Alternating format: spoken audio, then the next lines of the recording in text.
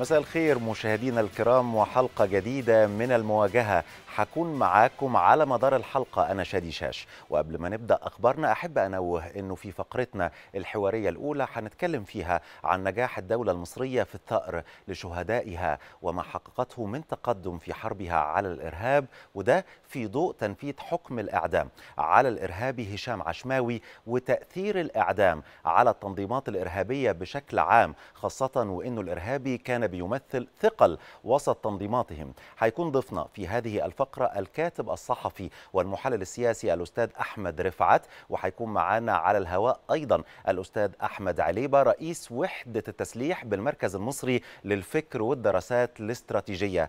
أما في فقراتنا الثانية فحيتجدد لقائنا مع الكاتب الصحفي الكبير الأستاذ عبد الحليم قنديل وحديث حول دلالات إعدام الإرهابي هشام عشماوي وعدد من الموضوعات الأخرى أبرزها تصاعد خسائر إردوغان وسيناريوهات مصير الغزو التركي لسوريا. عندنا مجموعة من الأخبار هنبدأ بها هذه الحلقة. هنبدأ بخبر استقبال الرئيس عبد الفتاح السيسي اليوم جيمس واني إيجا نائب رئيس جنوب السودان وذلك بحضور اللواء عباس كامل رئيس المخابرات العامة. أشاد الطرفان بالعلاقات المصرية الجنوب سودانية ورحب الرئيس بالخطوة المهمة التي حققتها مؤخرا الأطراف في جنوب السودان بإعلان الرئيس سلفا كير وزعيم المعارضة رياك مشار عن اعتزامهما البدء في تشكيل حكومة الوحدة الوطنية تنفيذا لمقررات السلام. مزيد من التفاصيل حنتابعها مع حضراتكم في التقرير التالي.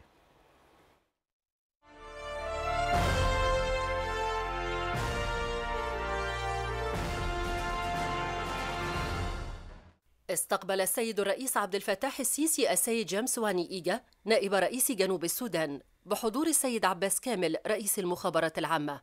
وصرح المتحدث الرسمي باسم رئاسة الجمهورية السفير بسام راضي بأن السيد الرئيس طلب نقل تحياته إلى أخيه الرئيس سيلفا كير مشيدا سيادته بعمق العلاقات المصرية الجنوب سودانية ومؤكدا الحرص على تطويرها وكذا مواصلة مصر بذل مساعيها على المستويين الإقليمي والدولي لتعزيز الجهود الرامية لتحقيق الاستقرار والسلام في جنوب السودان. كما رحب السيد الرئيس بالخطوة الهامة التي حققتها مؤخرا الأطراف في جنوب السودان بإعلان الرئيس سلفاكير وزعيم المعارضة رياك ماشار عن اعتزامهما البدء في تشكيل حكومة الوحدة الوطنية تنفيذا لمقررات اتفاق السلام.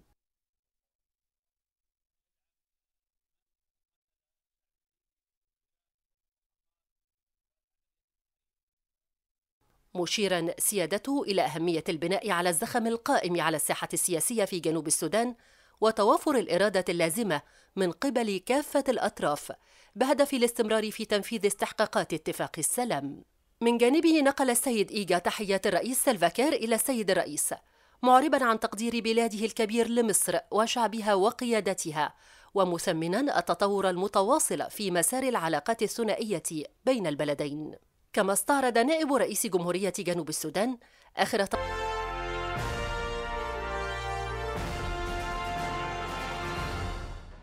استقبل السيد الرئيس عبد الفتاح السيسي السيد جيمس واني إيجا نائب رئيس جنوب السودان بحضور السيد عباس كامل رئيس المخابرات العامة. وصرح المتحدث الرسمي باسم رئاسة الجمهورية السفير بسام راضي بأن السيد الرئيس طلب نقل تحياته إلى أخيه الرئيس سيلفا كير. مشيدا سيادته بعمق العلاقات المصرية الجنوب سودانية ومؤكدا الحرص على تطويرها وكذا مواصلة مصر بذل مساعيها على المستويين الإقليمي والدولي لتعزيز الجهود الرامية لتحقيق الاستقرار والسلام في جنوب السودان. كما رحب السيد الرئيس بالخطوة الهامة التي حققتها مؤخرا الأطراف في جنوب السودان بإعلان الرئيس سلفاكير وزعيم المعارضة رياك ماشار عن اعتزامهما البدء في تشكيل حكومة الوحدة الوطنية تنفيذا لمقررات اتفاق السلام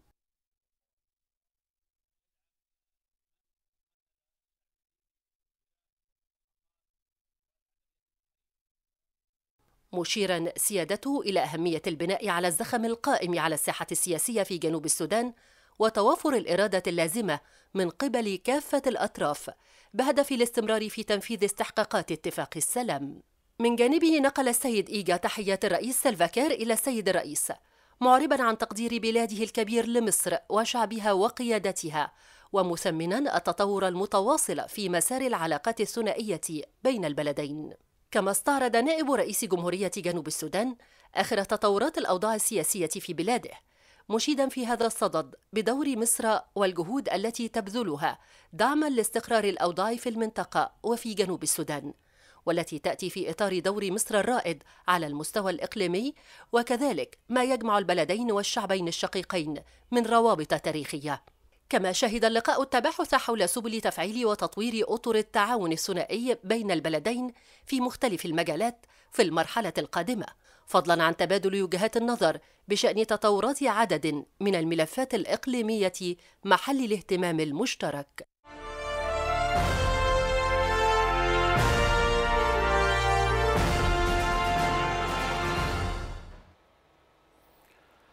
اليوم تم تنفيذ حكم الإعدام على الإرهابي هشام عشماوي. حكم الإعدام جاء طبقا للحكمين الصادرين من المحكمة العسكرية بعد استنفاذ كافة درجات التقاضي. وكانت السلطات المصرية قد تسلمت عشماوي في مايو الماضي من الجيش الوطني الليبي. عقب القبض عليه لترأس أحد التنظيمات الإرهابية بمدينة درنا ولتنفيذه عددا من العمليات الإرهابية في مصر وليبيا.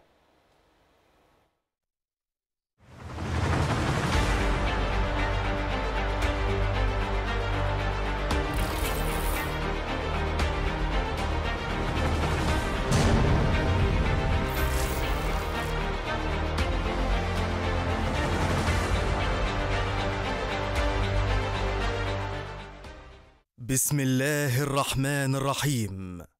ولكم في القصاص حياة يا أولي الألباب. لعلكم تتقون. صدق الله العظيم. تم اليوم تنفيذ حكم الإعدام شنقا على المتهم الإرهابي هشام علي عشماوي الذي ارتكب الجرائم الآتية. اولا المشاركة في استهداف وزير الداخلية الأسبق اللواء محمد إبراهيم بتاريخ الخامس من سبتمبر 2013 برصد موكبه وتصويره والتخطيط لاغتياله. ثانياً اشتراكه في التخطيط والتنفيذ لاستهداف السفن التجارية لقناة السويس خلال النصف الثاني من عام 2013.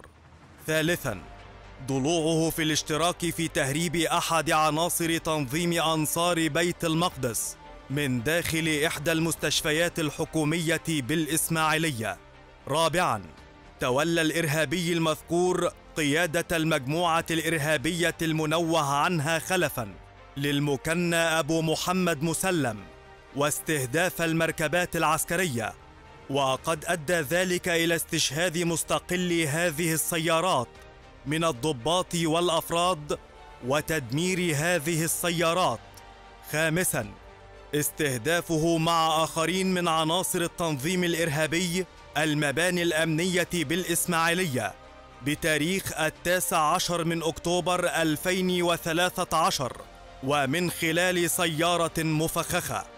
سادسا اشتراكه مع آخرين في عملية استهداف المباني الأمنية بأنشاص. بتاريخ التاسع والعشرين من ديسمبر 2013 سابعا استهدافه لمدرعتين تابعتين لوزارة الداخلية بشرق مدينة بدر طريق القاهرة السويس. ثامنا اشتراكه في استهداف سيارة تابعة لعناصر حرس الحدود وقتل جميع أفرادها. والاستيلاء على كافة الأسلحة التي بحوزتهم. تاسعاً تولى إمارة تنظيم أنصار بيت المقدس عقب مقتل الإرهابي المكنى أبو عبيدة ثم الانتقال إلى التمركز شرق نقطة حرس حدود بمنطقة الفرافرة. عاشراً ضلوعه بالرصد والاستطلاع ووضع مخطط استهداف وتنفيذ الهجوم الإرهابي على نقطة حرس حدود بالفرافرة وقتل جميع ضباطها وأفرادها وتفجير مخزن الأسلحة والذخيرة بها بتاريخ التاسع عشر من يوليو 2014 الحادي عشر.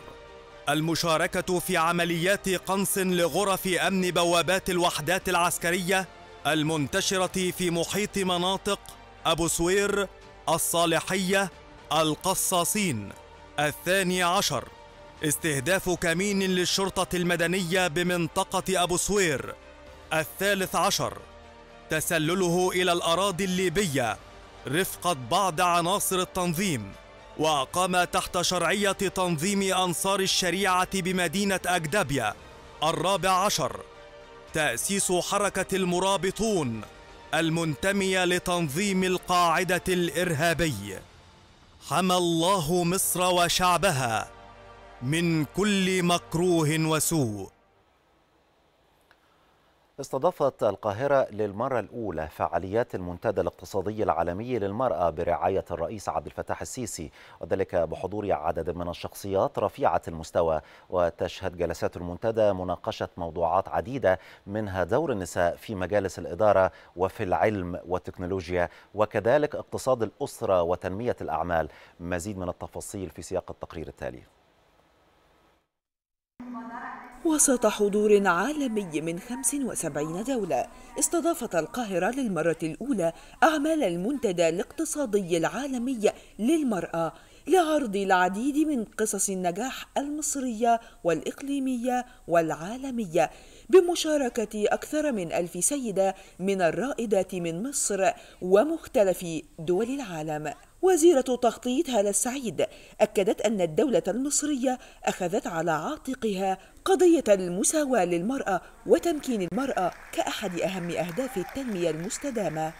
المرأة المصرية النهاردة بتحصل على دعم سياسي غير مسبوق. قضية التمكين الاقتصادي أصبحت ليست قضية اجتماعية قضية ترتبط بالمساواة ولكن هي قضية بترتبط بالقيمة المضافة للإقتصاد القومي. وأكدت مايا مرسي رئيسة المجلس القومي للمرأة أن عقد أول دورة للمنتدى خارج الهند في مصر يعكس دورها في دعم قضايا المرأة. الفكرة الأساسية هي طرح أفكار تبادل خبرات وأيضا عمل شراكات من بين السيدات الأعمال في أطر مختلفة. فدي منصة دولية بتتيح شراكات جديدة واستثمارات في الدول المختلفة. إحنا سعداء لأن بصراحة النهاردة كنت عرفت أن 90% من الحاضرين والحاضرات لأول مرة يزوروا مصر. يعد المنتدى فرصة فريدة لالتقاء النساء الرائدات من كافة المجالات ومن مختلف دول العالم في مكان واحد من أجل تبادل الخبرات ومناقشة التحديات والصعوبات التي تقف أمامهن. شرف لي أن أشارك بالمنتدى وهذه هي المرة الأولى لي بالقاهرة. ومن المهم جدا بالنسبة لي أن أشارك في المنتدى لمناقشة كل الموضوعات التي تخص المرأة وتدعمها. سعيدة بوجودي في المنتدى حيث أن الثقافة المصرية والهندية متشابهتان وأن المرأة في المجتمعين مهمة للعائلة في مصر لأن السيدات المصريات والعرب أهم جزء في هذا المجتمع. وتمثل النساء والفتيات نصف سكان العالم وبالتالي نصف إمكانياته. ولذلك فإن المساواة بين الجنسين إلى جانب كونها حقا أساسيا من حقوق الإنسان. أمر ضروري لتحقيق السلام في المجتمعات وإطلاق إمكانيات المجتمع الكاملة. وعلاوة على ذلك فقد ثبت أن تمكين المرأة يحفز الإنتاجية والنمو الاقتصادي. النهارده تم افتتاح معرض الشيخ زايد السادس للكتاب وده بمشاركة عدد كبير من الناشرين من دور النشر الخاصة ومن قطاعات وزارة الثقافة والهيئة العامة للكتاب والهيئة العامة لقصور الثقافة. شهد المعرض تخفيضات كبيرة بالإضافة إلى طرح أحدث الإصدارات وبيستمر المعرض حتى السادس عشر من مارس الجاري. كاميرا إكسترا نيوز كانت متواجدة في الحدث وحنترككم مع هذا التقرير التالي حول المعرض. منهل ثقافي يعيد فتح أبوابه للجمهور للعام السادس على التوالي. معرض مدينة الشيخ زايد للكتاب والذي يقام في الفترة بين الرابع حتى السادس عشر من مارس الحالي من العاشرة صباحا وحتى العاشرة مساء تحت رعاية الدكتور مصطفى مدبولي رئيس مجلس الوزراء والدكتورة إناس عبد الدايم وزيرة الثقافة. المرة الخامسة مشاركين في معرض زايد للكتاب آه، ملتزمين بالقوانين اللي قالوا عليها. عدم بيع الكتب ال- اللي مش أصلية ومعانا كتب بتتراوح من 10 جنيه ل 150 جنيه. إحنا إحدى الدور النشر السعودية المشاركة في معرض زايد لأول مرة. والصراحة حابين نجي نشارك في هذا المحفل آه، الكتابي الكبير الصراحة في القاهرة. يعني طبعا بعد مشاركتنا في معرض القاهرة الدولي للكتاب. والصراحة عندنا الكثير من الكتب العناوين آه، التربية الإسلامية والتنمية الذاتية وتطوير الذات. المعرض يقدم لمرتديه أيضا بعض الأنشطة الثقافية والفنية. من ندوات وورش ثقافية وكشك الموسيقى إضافة إلى أنشطة للأطفال. الجديد السنة دي إنه في اهتمام من دور نشر جديدة تبقى مشاركة في معرض الشيخ زايد. الجديد أيضا إنه في ركن خاص بالأطفال آه، ده ما كانش موجود آه، كان بي- بيبقى نشاط مبسط آه، في خلال من في المسرح ال- ال- اللي إحنا بنعمله. الدخول مجانا طبعا لهذا المعرض عندنا حوالي أكثر من 100 ناشر موجودين منهم دور نشر عربية ودور نشر مصرية. وفي دور نشر مصريه كتير جايبة كمان كتب أجنبية مستوردة يعني من من كتب بلغات بلغات كتيرة. ويعد هذا المعرض في دورته السادسة نتاج تعاون بين ثلاث جهات هي الهيئة العامة للكتاب وهيئة قصور الثقافة ومؤسسة زايد للإبداع لينقلوا الثقافة للجمهور. في خلال الشهر ده إحنا أقمنا مجموعة معارض ما بين الصعيد وبحري والقاهرة آه، في أماكن مختلفة يعني في معرض في دسوق شغال دلوقتي في معرض في قنا شغال دلوقتي وفي معرض في قرية في الصعيد هنعمله آه، في خلال العشر أيام ده بخلاف معرض دمنهور واسكندرية وبورسعيد ومعارض الجامعات اللي اشتغلنا عليها. ده الدور اللي المفروض يبقى دايما في كل الأنشطة الثقافية اللي موجودة في البلد إنه بقى في تعاون ما بين القطاع الخاص وبين القطاع الحكومي. التكامل اللي بينهم ده مهم جدا بينجح العمل. ويأتي معرض الشيخ زايد للكتاب بالتزامن مع عدد من معارض الكتابة التي تقيمها الدولة بشكل دوري بهدف نشر الوعي الفكري. وجبة ثقافية وفنية متكاملة يقدمها معرض مدينة الشيخ زايد للكتاب في دورته السادسة. فهنا يمكنك أن ترى كتبا في كافة المجالات بالإضافة إلى فعاليات ثقافية وفنية لكافة الأعمار. شيرين مجدي أكسترا نيوز انتهت اخبارنا ولكن حواراتنا بعد قليل في هذه الحلقة من المواجهة بعد فاصل قصير. ابقوا معنا.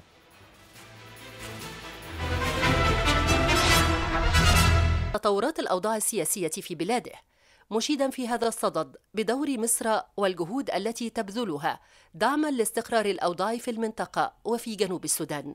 والتي تأتي في إطار دور مصر الرائد على المستوى الإقليمي وكذلك ما يجمع البلدين والشعبين الشقيقين من روابط تاريخية. كما شهد اللقاء التباحث حول سبل تفعيل وتطوير أطر التعاون الثنائي بين البلدين في مختلف المجالات في المرحلة القادمة فضلا عن تبادل وجهات النظر بشأن تطورات عدد من الملفات الإقليمية محل الاهتمام المشترك.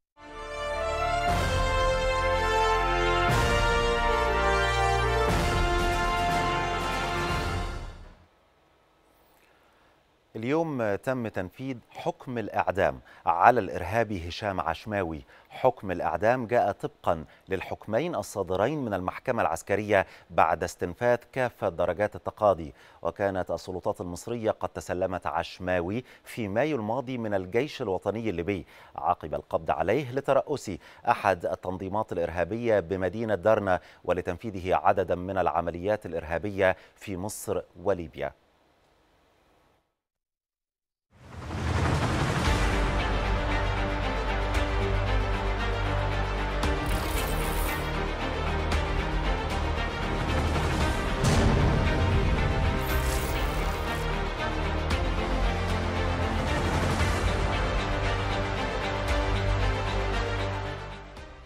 بسم الله الرحمن الرحيم.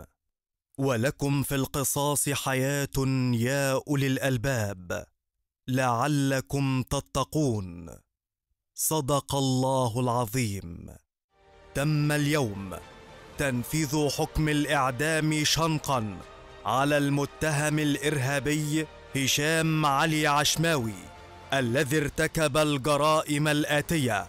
اولا المشاركة في استهداف وزير الداخلية الأسبق اللواء محمد إبراهيم بتاريخ الخامس من سبتمبر 2013 برصد موكبه وتصويره والتخطيط لاغتياله. ثانياً اشتراكه في التخطيط والتنفيذ لاستهداف السفن التجارية لقناة السويس خلال النصف الثاني من عام 2013 ثالثاً ضلوعه في الاشتراك في تهريب أحد عناصر تنظيم أنصار بيت المقدس من داخل إحدى المستشفيات الحكومية بالإسماعيلية. رابعاً تولى الإرهابي المذكور قيادة المجموعة الإرهابية المنوه عنها خلفاً للمكنى أبو محمد مسلم واستهداف المركبات العسكرية. وقد أدى ذلك إلى استشهاد مستقلي هذه السيارات من الضباط والأفراد وتدمير هذه السيارات. خامسا استهدافه مع آخرين من عناصر التنظيم الإرهابي المباني الأمنية بالإسماعيلية. بتاريخ التاسع عشر من أكتوبر 2013 ومن خلال سيارة مفخخة. سادسا اشتراكه مع آخرين في عملية استهداف المباني الأمنية بأنشاص. بتاريخ التاسع والعشرين من ديسمبر 2013 سابعا استهدافه لمدرعتين تابعتين لوزارة الداخلية بشرق مدينة بدر طريق القاهرة السويس. ثامنا اشتراكه في استهداف سيارة تابعة لعناصر حرس الحدود وقتل جميع أفرادها. والاستيلاء على كافة الأسلحة التي بحوزتهم. تاسعاً تولى إمارة تنظيم أنصار بيت المقدس عقب مقتل الإرهابي المكنى أبو عبيدة ثم الانتقال إلى التمركز شرق نقطة حرس حدود بمنطقة الفرافرة. عاشراً ضلوعه بالرصد والاستطلاع ووضع مخطط استهداف وتنفيذ الهجوم الإرهابي على نقطة حرس حدود بالفرافرة وقتل جميع ضباطها وأفرادها وتفجير مخزن الأسلحة والذخيرة بها بتاريخ التاسع عشر من يوليو 2014 الحادي عشر. المشاركة في عمليات قنص لغرف أمن بوابات الوحدات العسكرية المنتشرة في محيط مناطق أبو سوير الصالحية القصاصين. الثاني عشر. استهداف كمين للشرطة المدنية بمنطقة أبو سوير. الثالث عشر. تسلله إلى الأراضي الليبية. رفقة بعض عناصر التنظيم. وأقام تحت شرعية تنظيم أنصار الشريعة بمدينة أجدبيا الرابع عشر. تأسيس حركة المرابطون المنتمية لتنظيم القاعدة الإرهابي. حمى الله مصر وشعبها من كل مكروه وسوء.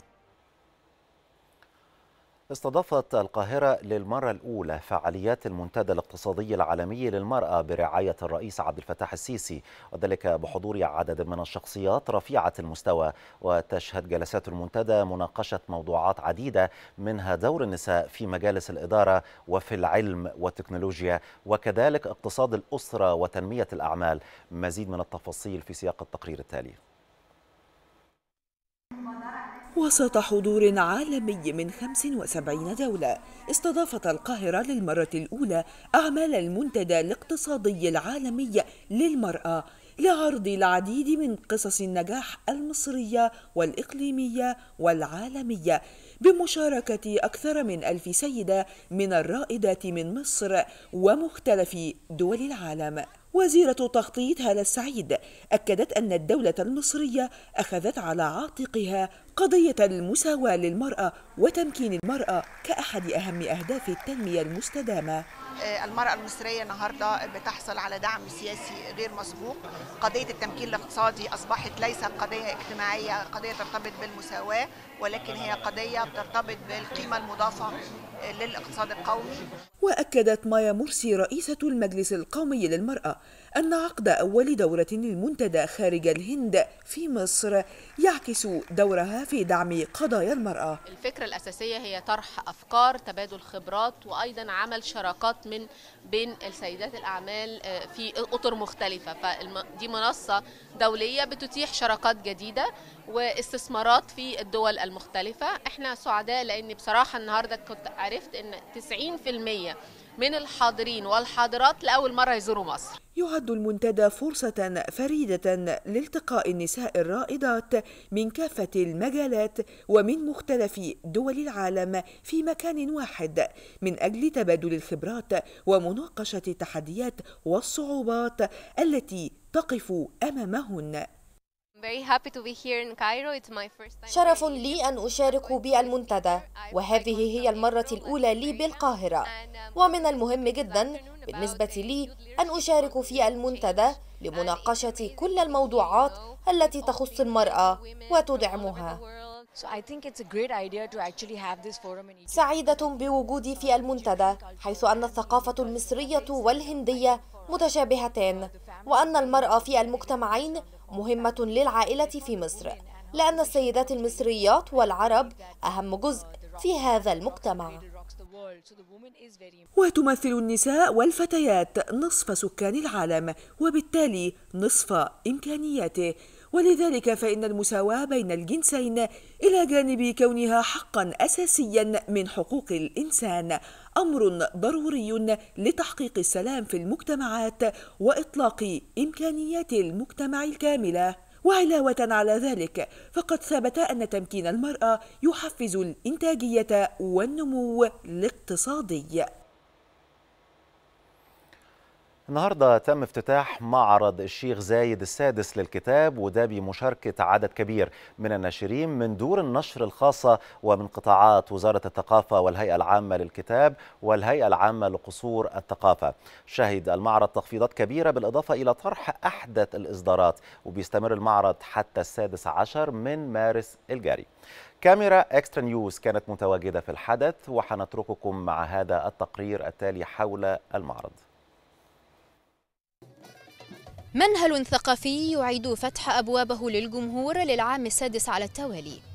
معرض مدينة الشيخ زايد للكتاب والذي يقام في الفترة بين الرابع حتى السادس عشر من مارس الحالي من العاشرة صباحا وحتى العاشرة مساء تحت رعاية الدكتور مصطفى مدبولي رئيس مجلس الوزراء والدكتورة إيناس عبد الدايم وزيرة الثقافة. المرة الخامسة مشاركين في معرض زايد للكتاب ملتزمين بالقوانين اللي قالوا عليها. عدم بيع الكتب اللي مش أصلية ومعانا كتب بتراوح من 10 جنيه ل 150 جنيه. إحنا إحدى الدور النشر السعودية المشاركة في معرض زايد لأول مرة. والصراحة حابين نجي نشارك في هذا المحفل الكتابي الكبير الصراحة في القاهرة يعني طبعا بعد مشاركتنا في معرض القاهرة الدولي للكتاب. والصراحة عندنا الكثير من الكتب العناوين التربية الإسلامية والتنمية الذاتية وتطوير الذات. المعرض يقدم لمرتديه أيضا بعض الأنشطة الثقافية والفنية. من ندوات وورش ثقافية وكشك الموسيقى إضافة إلى أنشطة للأطفال. الجديد السنة دي إنه فيه اهتمام من دور نشر جديدة تبقى مشاركة في معرض الشيخ زايد. الجديد أيضا إنه فيه ركن خاص بالأطفال ده ما كانش موجود كان بيبقى نشاط مبسط في خلال من في المسرح اللي إحنا بنعمله. الدخول مجانا طبعا لهذا المعرض عندنا حوالي أكثر من 100 ناشر موجودين منهم دور نشر عربية ودور نشر مصرية. وفي دور نشر مصريه كتير جايبة كمان كتب أجنبية مستوردة يعني من من كتب بلغات بلغات كتيرة.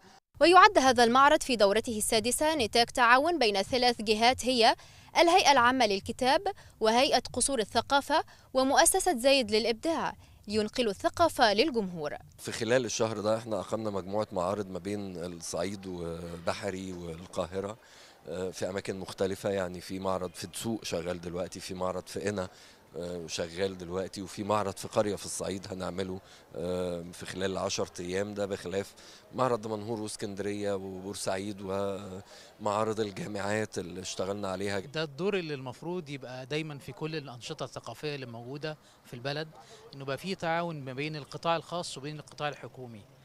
التكامل اللي بينهم ده مهم جدا بينجح العمل. ويأتي معرض الشيخ زايد للكتاب بالتزامن مع عدد من معارض الكتابة التي تقيمها الدولة بشكل دوري بهدف نشر الوعي الفكري. وجبة ثقافية وفنية متكاملة يقدمها معرض مدينة الشيخ زايد للكتاب في دورته السادسة. فهنا يمكنك أن ترى كتبا في كافة المجالات بالإضافة إلى فعاليات ثقافية وفنية لكافة الأعمار. شيرين مجدي أكسترا نيوز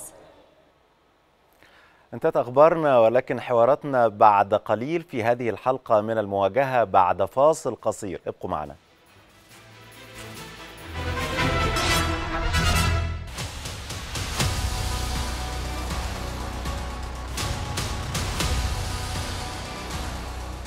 شوفوا لما ناس بتبقى في كل أملها وفرحتها إنها تقتل.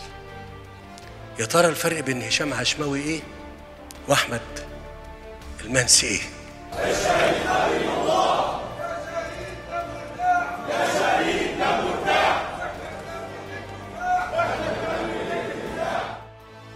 ما هو ده إنسان وده إنسان وده ظابط وده ظابط. والاتنين كانوا مع بعض في واحدة واحدة. الفرق بينهم إيه؟ إن فا... إن حد منهم اتلخبط وممكن يكون خان. وحد تاني استمر على العهد والفهم الحقيقي لمقتضيات الحفاظ على الدولة المصرية وأهل مصر. من جبال مصر أخذنا مسكنا وفي صحرائها قبورا تنادينا. صمتنا العزم وفي خطانا النار والجحيم لينظر من يعادينا. ده قدم وبنسقف له وبنبقى بنبص له كده بملء العين. وحد تاني عايزينه عشان نحاسبه. عايزينه عشان إيه؟ آه. آه. قتلانا عند ربهم يرزقون وبالجهاد على العهد محافظين.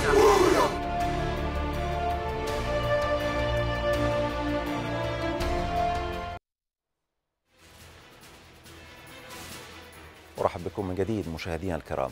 لطالما انتظر المصريون إعدام الإرهابي هشام عشماوي بعد استيفائه كافة درجات التقاضي خصوصا وأنه ارتكب 14 عملية إرهابية على أراضي مصر وأزهق الأرواح وعمل على خراب الوطن. بالتأكيد هي خطوة هامة للقصاص لأرواح شهداء الوطن سواء جيش أو شرطة أو مواطنين. حدث بيمثل عبرة لكل من تساوي له نفس المساس بمقدرات هذا الوطن ودلالة على إصرار الدولة على المضي قدما في حربها على الإرهاب. بالتأكيد إعدام هشام عشماوي حيكون له تأثير على التنظيمات الإرهابية بشكل عام خاصة وأنه الإرهابي بيمثل ثقل كبير وسط تنظيماتهم. حول هذا الموضوع بنستضيف في الاستوديو الكاتب الصحفي والمحلل السياسي الأستاذ أحمد رفعت وقراءة متعمقة في تنفيذ حكم الإعدام على هشام عشماوي. أهلا بك يا أستاذ أهلا. بحضرتك أيضا بيسعدنا أن نستضيف على الهواء الأستاذ أحمد عليبة رئيس وحدة التسليح بالمركز المصري للفكر والدراسات الاستراتيجية. بنرحب بيك يا أستاذ أحمد.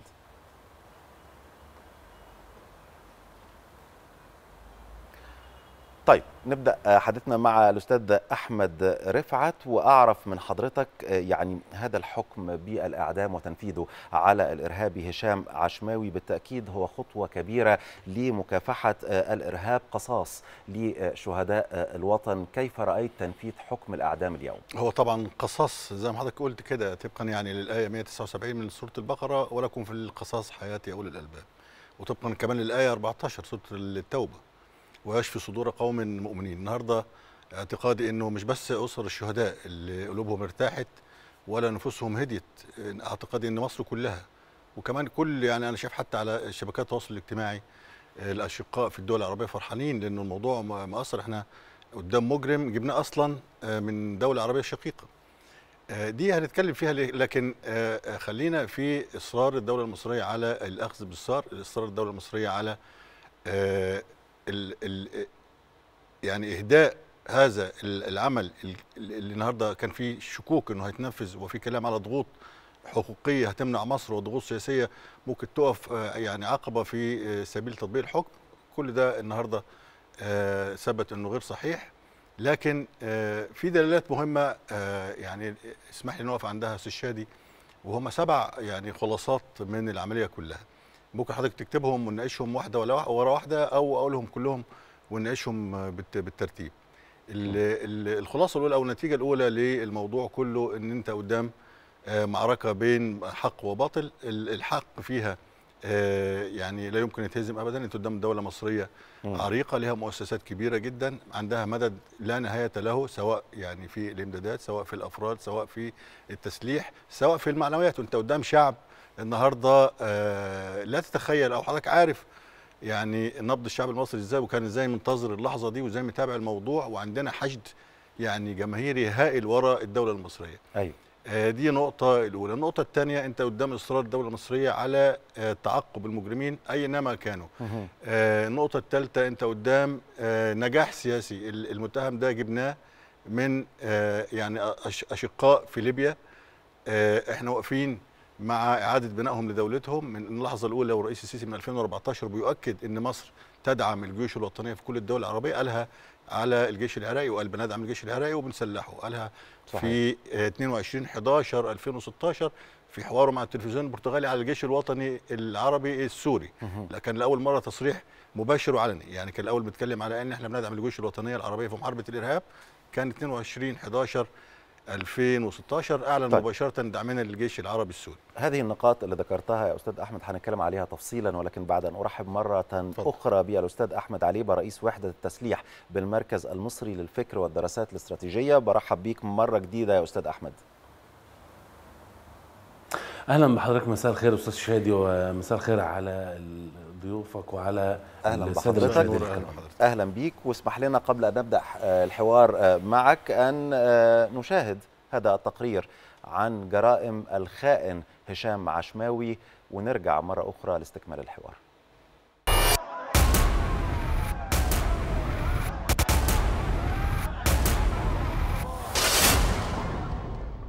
لم يكن حكم الإعدام الذي صدر بحق الإرهابي هشام عشماوي سوى تعبير عن جرائمه التي ارتكبها في المقام الأول بحق مصر واستشهاد الكثير من أبطالها.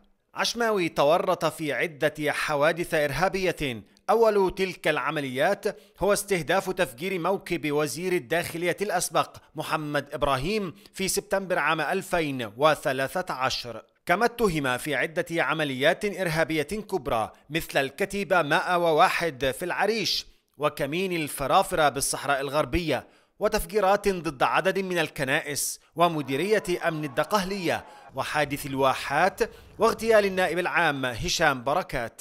انضمام عشماوي لتنظيم أنصار بيت المقدس الإرهابي لم يدم طويلا حيث بايع التنظيم داعش الإرهابي وهو ما رفضه وانشق عنهم مؤسسا تنظيم المرابطون المتصل بشكل وثيق بتنظيم القاعدة. وتمركز التنظيم في مدينة درنا الليبية كمقر تنطلق منه العمليات الإرهابية إلى داخل مصر وتمركز لتدريب أعضاء تنظيمه المتطرف.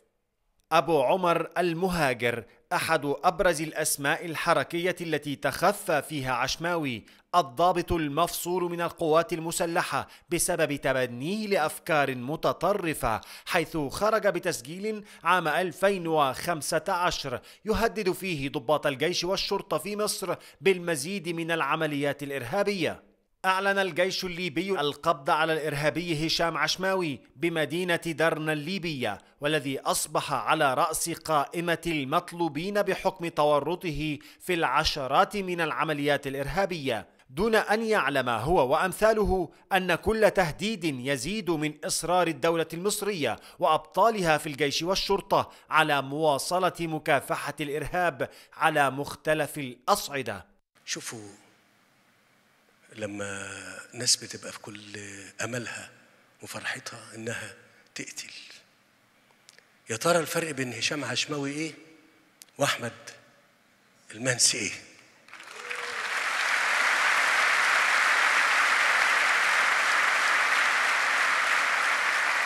أنا بقول لكم بس الحكاية. ما هو ده إنسان وده إنسان وده ظابط وده ظابط والاثنين كانوا مع بعض في واحدة واحدة. الفرق بينهم إيه؟ إن. إن حد منهم اتلخبط وممكن يكون خان وحد تاني استمر على العهد والفهم الحقيقي لمقتضيات الحفاظ على الدولة المصرية وأهل مصر. ده قدم وبنسقف له وبنبقى بنبص له كده بملء العين وحد تاني عايزينه عشان نحاسبه. عايزينه عشان إيه؟ آه آه. أرحب من جديد مشاهدينا الكرام بالأستاذ أحمد رفعت الكاتب الصحفي والمحلل السياسي والأستاذ أحمد عليبه رئيس وحدة التسليح بالمركز المصري للفكر والدراسات الاستراتيجية. أستاذ أحمد عليبه يعني هل من الممكن أن يغير تنفيذ حكم الإعدام من استراتيجية التنظيمات الإرهابية الموجودة في مصر وليبيا؟ يعني بالتأكيد آه، إحنا بنتكلم على آه، فصل مختلف يعني. هناك إسدال للستار على واحد من آه، أعتى عتاة الإجرام بالنسبة لقضايا الإرهاب في مصر على مدار ست سنوات يعني سنتين منها في مصر من 2013 2014 ثم بعد فض رابعة إلى ليبيا أربع سنوات. آه، فأنا بعتقد أنه يعني ده كان بيمثل يعني عدد كبير جدا من القضايا ال- ال- ال- الحوادث الإرهابية في مصر سواء في منطقة سيناء أو في مدن القناة أو حتى في مدن الدلتا آه، ثم أيضا في آه، قطاع الصحراء الغربية حوادث الفرافرة والواحات أنا بعتقد أنه آه، هناك محاولة ل يعني تقويض هذه الظاهرة بشكل كبير فيما يتعلق بالجزء الخاص بالتنظيمات في مصر. هناك تراجع واضح وفقا للمؤشرات الدولية وأيضا المؤشرات المحلية لأنه هناك نجاح بشكل دائم ومستمر. نحن نتعامل مع ظاهرة هذه الظاهرة ممتدة. يعني لا يمكن آه، بشكل أساسي إنه إحنا نقول إنه ظاهرة الإرهاب يتم القضاء عليها تماما. لكن آه، تكتسب يعني آه، خبرات يعني تكتسب الدول خبرات لمواجهة هذه التنظيمات وبالتالي بيبدأ يقل. أيضا أنا بعتقد إنه التحولات الإقليمية اللي آه، يعني بتتم في إطار ما يتعلق بهذه الظاهرة أيضا بتشهد نوع من الانحسار والتحولات. لكن لا يزال طبعا في ليبيا هناك نوع من ال- يعني السيولة في هذا الموضوع. لكن تراجعت أيضا إلى حد كبير بالنسبة لرصد آه، محاولات آه، يعني اختراق الحدود المصرية لأنه طبعا في إحكام آه، بشكل كبير بالنسبة للحدود الغربية من جانب الجيش المصري. أنا بتصور إنه يعني ده أيضا قطع رافض أساسي لتمويل هذه التنظيمات بالنظر لإنه كان بيقوم بأدوار متعددة سواء كان في الإعداد والتخطيط أو في التدريب آه، أو في التنفيذ.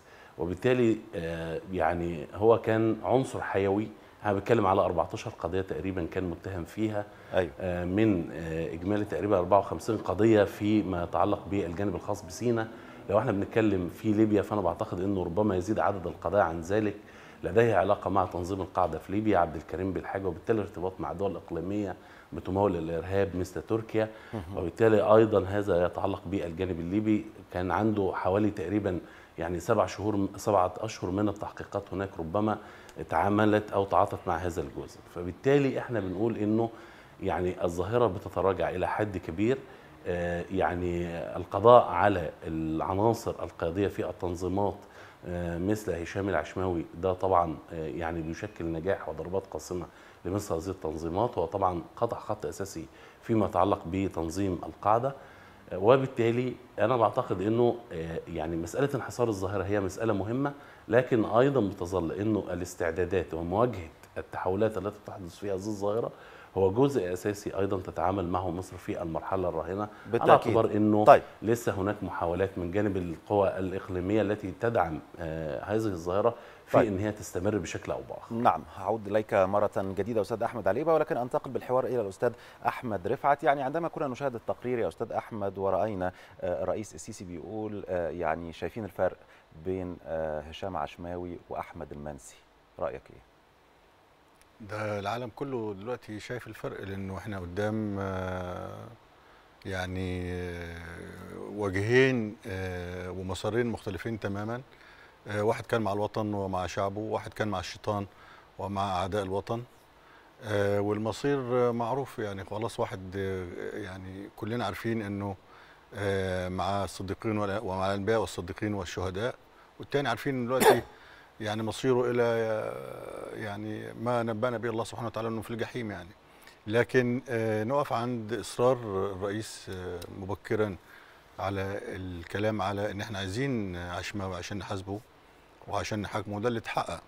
ودي كانت النقطة الرابعة بعد ما كنت بتكلم مع حضرتك على الدلالات المهمة للموضوع. ووصلنا إلى الدلالة السياسية أنه مصر بدورها الإقليمي موجودة مع الأصدقاء والأشقاء في ليبيا.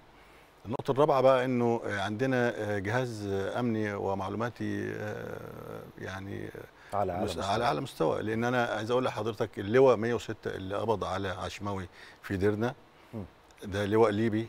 لكن جوه اللواء الكتيبة 169 آه، أحمد النجدي ال- ال- الرائد الليبي قايل بالحرف إن إحنا قبضنا على عشماية وبناء على معلومات استخباراتية مع الجانب المصري. صحيح قعد هناك من 8 أكتوبر من يوم إعلان القبض عليه لغاية 28 مايو زي ما قال الأستاذ أحمد تحت التحقيق في ليبيا لأنه مرتكب جرائم هناك عنده يعني عدد كبير من الاتهامات موجهة ليه لكن اصر الجانب الليبي في الآخر إنه يسلمه للجانب المصري. نتيجة لهذا التعاون الأمني ال- الكبير. فإحنا قدام جهاز أمني رفيع المستوى قادر إنه حتى خارج البلاد آه، يعمل ضربات آه، كبيرة. بتبدأ بالمعلومة في الأساس وبعد كده بتقوم القوات المختصة بمتابعة الموضوع لغاية ما آه، يعني ال- ال- الوعد الرئاسي للرئيس السيسي اتحقق والنهاردة كان ال- النهاية. أيوة. طيب هنتابع مع حضراتكم الآن هذا التقرير اللي بيحكي لنا عن رحلة آه، الخائن هشام عشماوي. انت بقى اسمه الأسطورة. انت بقى اسمه الأسطورة. من أسوان للمعموره وقالوا يا ترى الفرق بين هشام عشماوي إيه وأحمد المنسي إيه؟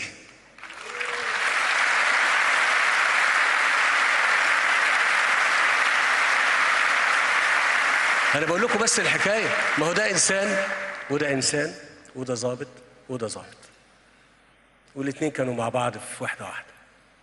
الفرق بينهم إيه؟ إن فا... إن حد منهم اتلخبط وممكن يكون خان وحد تاني استمر على العهد والفهم الحقيقي لمقتضيات الحفاظ على الدولة المصرية وأهل مصر. أحمد بعد ما استشهد لقيناه كاتب جواب بخط إيده. المفاجأة إن الجواب ده كاتبه لعدوه. اسمحوا لي أقرأ لكم بعض أجزاء من الجواب ده. جزيل الشكر لعدوي اللي أتاح لي الفرصة بعد سنين من التدريبات إني أواجهه. شكرا ليك إنك دخلتني أرض مروية بدم آبائي وأجدادي اللي ضحوا بالنفيس والغالي. دخلتني أرض الفيروز بأفرولي وخلتني أصلي في كل شبر فيها. هيروح مننا واحد في غيره ألف. بيتسابقوا على دورهم في الشهادة. بس أقسم بالله ملكش عيش فيها طول ما إحنا فيها. يا أمي الشهيد هو صاحب الفضل والمنة. إحنا عملنا كده لأن إحنا اتعلمنا في القوات المسلحة. ألا نترك خلفنا أبدا شهيد أو مصاب. القوات المسلحة اللي علمتنا عند التكليف بأحد المهام. قدامنا خيارين اتنين بس. ما لهمش تالت. إما النصر بشرف أو الاستشهاد ببطولة. وأي أوامر فندم. فاكرك يا صاحبي ولسه روحك عايشة فيا. لا قبلت ولا هقبل في دمك عمري ديا صنت الأمانة شهيد لوجبك ولبلادك أديت رسالتك كنت قد المسؤولية. كتبت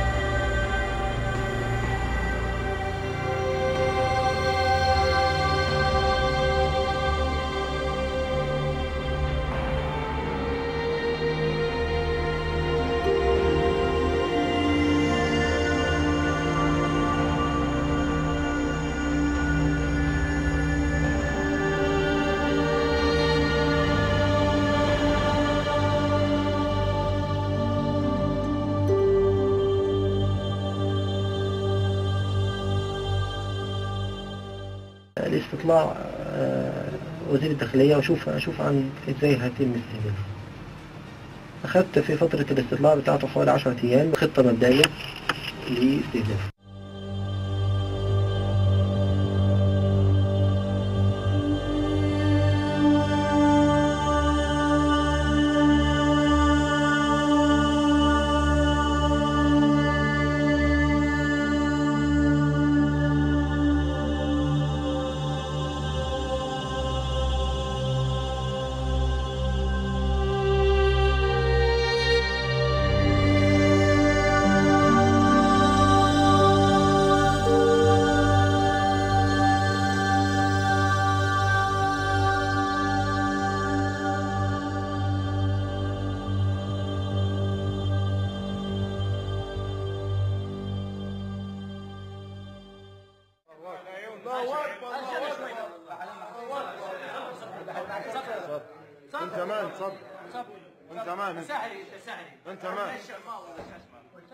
لا أستاذ اقرأ. أنا هشام العشماوي العشماوي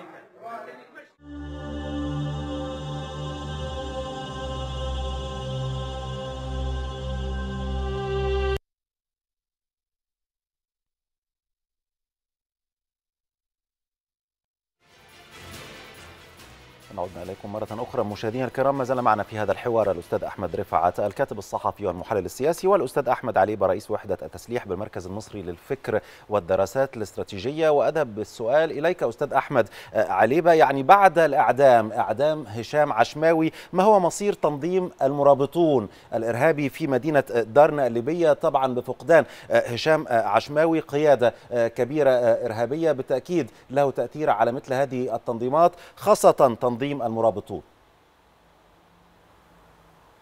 يعني اسمح لي يا أستاذ شادي يعني أقول لحضرتك في البداية إنه هشام عشماوي كان بيتنقل ما بين عدد من التنظيمات. يعني هو تنظيم أنصار بيت المقدس وصولا إلى تنظيم المرابطون ثم أيضا تشبيك مع يعني فروع أخرى من تنظيم القاعدة وأيضا تنظيم حتى أو التنظيمات المحسوبة على تنظيم داعش أو التي بايعت تنظيم داعش.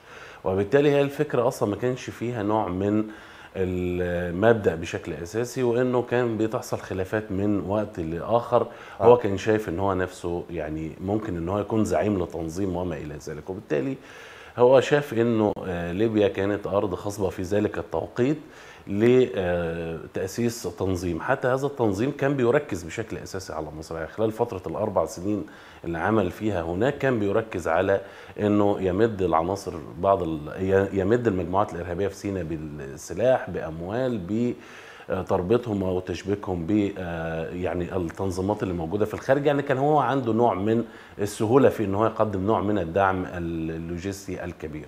الامر الآخر إن هو بدأ طبعا يزود بعض المجموعات أو يدفع بعض المجموعات اللي هي عنده في التنظيم في البداية في ليبيا تعامل أيضا مع عدد من التنظيمات لكن في منطقة ديرنا بالأساس كان موجود تنظيم أنصار الشريعة ثم بعد ذلك لما طرد تنظيم داعش أيضا كان موجود في مدينة ديرنا ثم طرد منها باتجاه الساحل في اتجاه الغرب. هو كان عنده طبعا علاقات في ذلك التوقيت مع عبد الكريم بالحاج اللي هو معروف إنه كان زعيم الجماعة الليبيه المقاتلة وبالتالي كان بيحصل على نوع من الدعم الكبير كان بيوظفه في اتجاه يعني تنظيم وإدارة وتنفيذ عدد من العمليات الإرهابية في مصر كما ذكرت. وبالتالي فيما يتعلق بالمسرح الليبي الجيش الليبي تمكن بالفعل من إن هو يحسم مسألة أو يطهر التنظيم من مدينة ديرنا. أنا بعتقد بشكل كبير جدا إن الوضع أصبح مستقر في المدينة بشكل كبير لأنه الجيش الليبي تمكن من فرض مظاهر السيطرة والأمن في هذه المدينة. تظهر بعض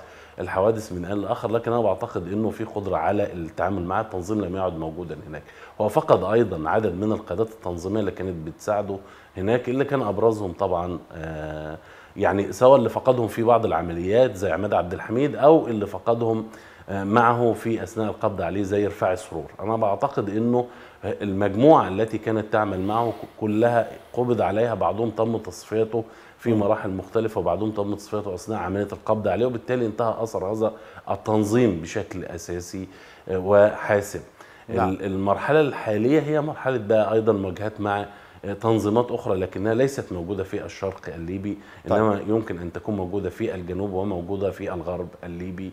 ويعني تظهر الآن أو تتحول الآن مع التحولات التي تشهدها الساحة في الغرب الليبي سواء تنضوي تحت ميليشيات أو تقوم بدور ما لاستقطاب تنظيم داعش م- آه، الذي آه، يعني آه، يتم نقله أو تقوم تركيا بنقله من الساحة في سوريا إلى الساحة في ليبيا نعم لكن نعم. فيما طيب يتعلق وصلت هذه النقطة المرابطون، ابقى معي أحمد حاولنا علي بس إليك وانتهى. طبعا مرة جديدة ولكن بعد أن أذهب بحواري إلى الأستاذ أحمد آه، رفعت يعني بعد التقارير الدولية اعتبرت عام 2019 الماضي هو عام الانتصار على الإرهاب آه، في مصر ده طبعا نتيجة آه، لكل ما ذكرته أستاذ أحمد من يقظة آه، للجهاز الأمني المصري والمعلومات الكبيرة المتوفرة التي جعلت هذه العمليات تتم على أعلى مستوى من الدقة وبالتالي انحصر الإرهاب هو الحقيقة 2018 مش 2019 مم. لأنه إحنا آه، في 2014 كانت العمليات واصلة إلى رقم مخيف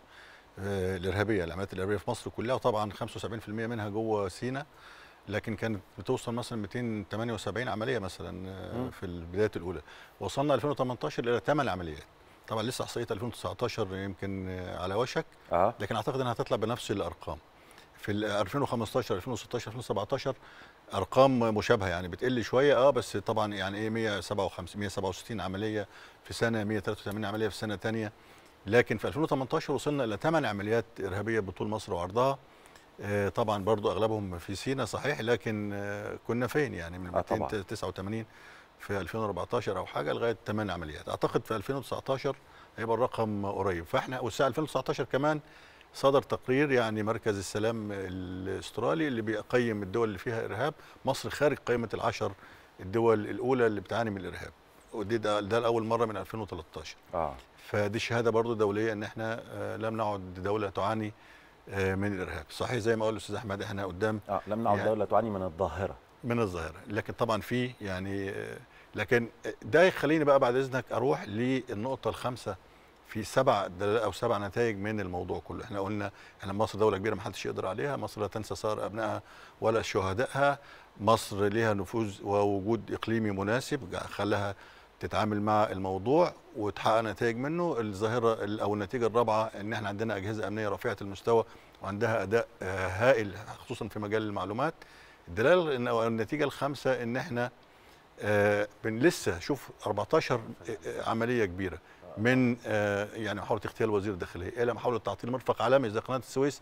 آه. هتتضرر منه 100 مليون آه، مصري بشكل مباشر. آه آه، جرائم هشام عشماوي شوف 14 عملية إلى الفرافرة إلى أجهزة أمنية دمرها في الإسماعيلية وعملت نقل من الإسماعيلية إلى الصحراء الغربية. ومع ذلك مصر تصر على أنها تبقى إلى النهاية دولة للقانون.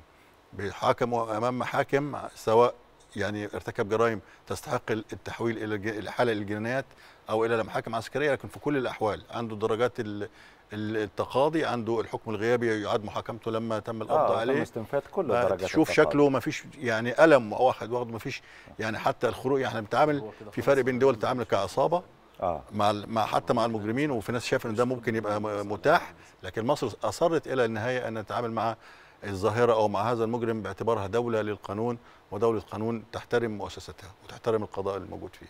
طيب إحنا معنا على الهاتف الآن المهندسة ندى حسن زوجة الرائد الشهيد أحمد عمر الشبراوي رئيس عمليات آه، كتيبة 101 صاعقة أهلا آه، بيك يا باشمهندسة والنهاردة شهدنا حكم الإعدام للإرهابي هشام عشماوي أثر ده عليك إيه؟ أهلا يا فندم حضرتك الأول هو أحمد كان رئيس عمليات الكتيبة 103 صعقة مم. آه 103 صاعقة 103 صعقة مم. اثره كبير يا فندم لأن ده مدينا رسالة إحنا كأهالي شهداء وكمصريين إن القوات المسلحة ما بتفيدش حق الشهداء وإن جهاز المخابرات بتاعنا شغال صح وبيقدر يجيب يعني شغالين صح وما بيسيبوش حق ولادهم في أي أي قضية أو أي عملية بي- بيفضلوا وراها ولو بعد حين لحد ما يعني الأجرم ياخد جزاؤه طيب. فكرة الثواب والعقاب فكرة ان النهايه آه، واختلافها. يعني هو الموت واحد بس. فكرة الموت المشرف والشهادة وفكرة إننا اعدم على جرائم يعني أسوأ من هي تبقى مخله في الشرع مم. ده, ده, ده, أنا, ده أنا أخليت بشرف وطني وبشرف القسم اللي أنا أقسمته في الكليه يعني مم. الحمد لله الحمد لله. آه يعني انت النهارده لما آه، عرفتي آه، بهذا آه، الحكم بالتأكيد ده كان ليه أثر إيجابي عليكي. أكيد طبعا. ربنا قال ولكم في القصاص قصاص حياة يا اولي الالباب. طيب آه، يعني آه، باشمهندسة آه، ندى يعني دايما التنظيمات الإرهابية يعني ما بيكونش هاممها لا الشعوب ولا الأوطان.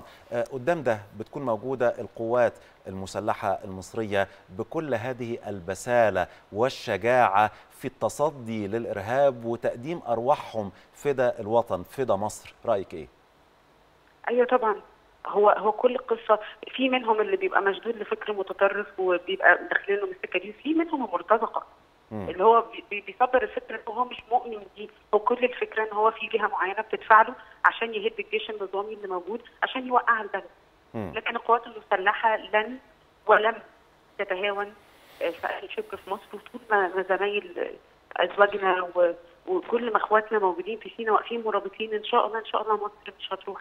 طيب في نهاية حوارنا عايز منك رسالتين رسالة بتوجهيها لكل إرهابي بيحاول يتربص بمصر ورسالة لقواتنا المسلحة والشرطة الباسلة في التصدي للإرهاب. اتفضلي. والله يا فندم لأي إرهابي مصر على مر العصور بفضل الله إن كان محتل إن كان حد بيتعدى على حدودها جيشها أثبت جدارة إن ما فيش حد الحمد لله بيقدر علينا. مهما اتحطينا في صعاب مهما تخيلت إن أنت قادر توصل رجالتنا واقفين مش هتقدر تاخد مش هتقدر تاخد آه، شبر في أرضها ومش هتقدر آه، تحقق حاجة على أرض الواقع. كل اللي أنت بتعمله عبارة عن مصر وهمي أنت بتتخيل. آه، إخواتنا بقى في الجيش والشرطة ربنا يحفظكم وربنا يعينكم وإحنا عايشين على حسكم وعايشين في الأمان ده من خيركم ومن وقفتكم دلوقتي في, في, في الظروف اللي إحنا فيها دي. واقفين ببساله زميلك بيستشهد وبتروح تقف بعده علشان عارف إن ده دورك وده واجبك. طيب بشكرك شكرا جزيلا المهندسة ندى حسن زوجة الرائد الشهيد أحمد عمر شبراوي رئيس عمليات كتيبة 103 صاعقة أذهب مرة أخرى بحواري إلى الأستاذ أحمد عليبة. يعني تسليم هشام عشماوي قبل أقل من سنة بيوضح لنا أهمية التعاون يا أستاذ أحمد بين الجيشين الجيش المصري والجيش الوطني الليبي يعني تأثير ذلك وهذا التعاون آه، على آه، يعني هذه العمليات وضبط الإرهابيين المتواجدين في مصر وليبيا. أنا أنا بتصور إن أستاذ أحمد رفعت يعني تناول هذا الموضوع بقدر كبير من التفصيل لكن أنا يهمني في هذه النقطة هو إنه آه، فيه تحدي بيواجه الجيش الليبي طبعا في المرحلة الحالية. آه، وده بيدل على إنه دعم مصر لمؤسسة وطنية. مصر لا تتعامل مع ميليشيات في ليبيا. مصر تتعامل مع مؤسسة وطنية موجودة في ليبيا. وهي دي النقطة المهمة فيما يتعلق بهذا الموضوع إنه أن تكون هناك دولة في ليبيا أن تكون هناك مؤسسات أمنية قوية في ليبيا. هذا هو المدخل الحقيقي لإعادة الاستقرار إلى ليبيا. لأنه آه، يعني انهيار اللي حصل في الجيوش آه، فيما يعرف بالربيع العربي في العديد من الدول في الإقليم مم. الكل يعرف ثمنه جيدا. وبالتالي فإن دعم مصر لأنه يكون هناك يعني هذا المسار من الاستقرار بالنسبة لليبيا أنا بعتقد ان المسألة مهمة. وده شفنا تداعياته في هذه العملية إنه الجيش الليبي آه، لعب دور أساسي كشريك في مسألة القبض على هشام عشماوي. طبعا آه، أيضا زي ما قال الأستاذ أحمد في بداية الحديث بإنه كان هناك دور استخباري ومعلوماتي فيما يتعلق ب آه، هشام عشماوي والخلية التي كانت تعمل معه وتحديد مناطق تجاوز يعني مناطق تواجده هناك. ثم آه، من قام بعمليه القبض عليه هو الجيش الليبي وأدار يعني تحقيقات مطولة معه فيما يتعلق بالجزء الخاص بالقضايا في ليبيا. ثم عاد إلى مصر ومحاكمته أمام القضاء المصري فيما يتعلق بالجزء الخاص بالقضايا الموجودة في آه، مصر والتي شارك آه، فيها بشكل أساسي. فأنا بعتقد إنه ده نجاح للعلاقة ما بين آه، الطرفين في مصر وفي آه، ليبيا. وأنا بعتقد إنه أيضا ده دلالة أساسية على آه، نجاح جهود مكافحة الإرهاب بشكل أساسي وإنه يجب أن ينظر المجتمع الدولي والقوى الإقليمية التي تريد أن يكون هناك است- استقرار في ليبيا إلى هذه الجهود. بدلا من أن يكون هناك دعم للإرهاب في ليبيا أن يكون هناك يعني مواجهة. مصر بتواجه طبعا هذا بشكل أساسي أو بتعمل عليه بشكل أساسي.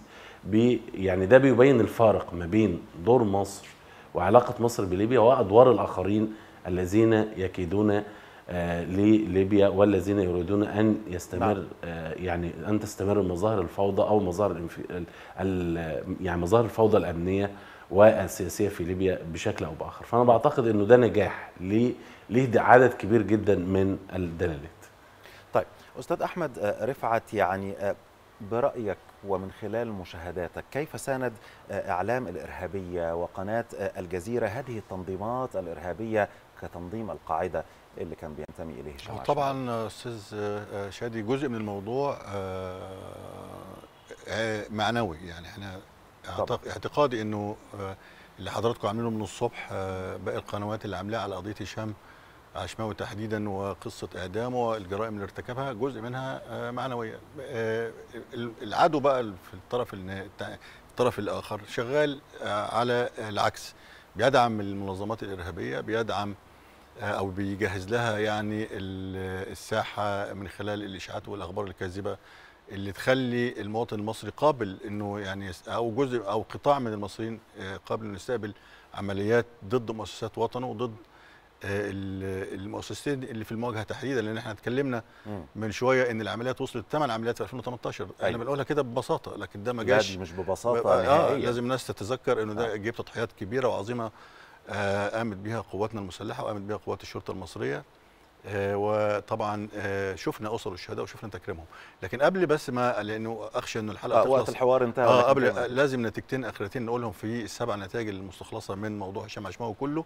إن إحنا آه ال- القوات المسلحة زي ما بتسأر لأبنائها بتسأر كمان بتحافظ على مكانتها وقيمتها وسمعتها وشرفها وتم إعدام هشام عشماوي شنقا مش رميا بالرصاص لأنه خارج القوات المسلحة م- فصلا. يعني هو مفصول أصلا من القوات المسلحة مش هروبا ولا عمل أي عملية وهو منتمي لهذا أو لهذه المؤسسة العظيمة. الح- النتيجة الأخيرة اللي قالها أو أشار لها الرئيس السيسي بكلامه لما اتكلم إنه مسار أحمد المنسي ومسار هشام عشماوي إحنا لسه عايزين مجهود جبار في مواجهة الأفكار المتطرفة.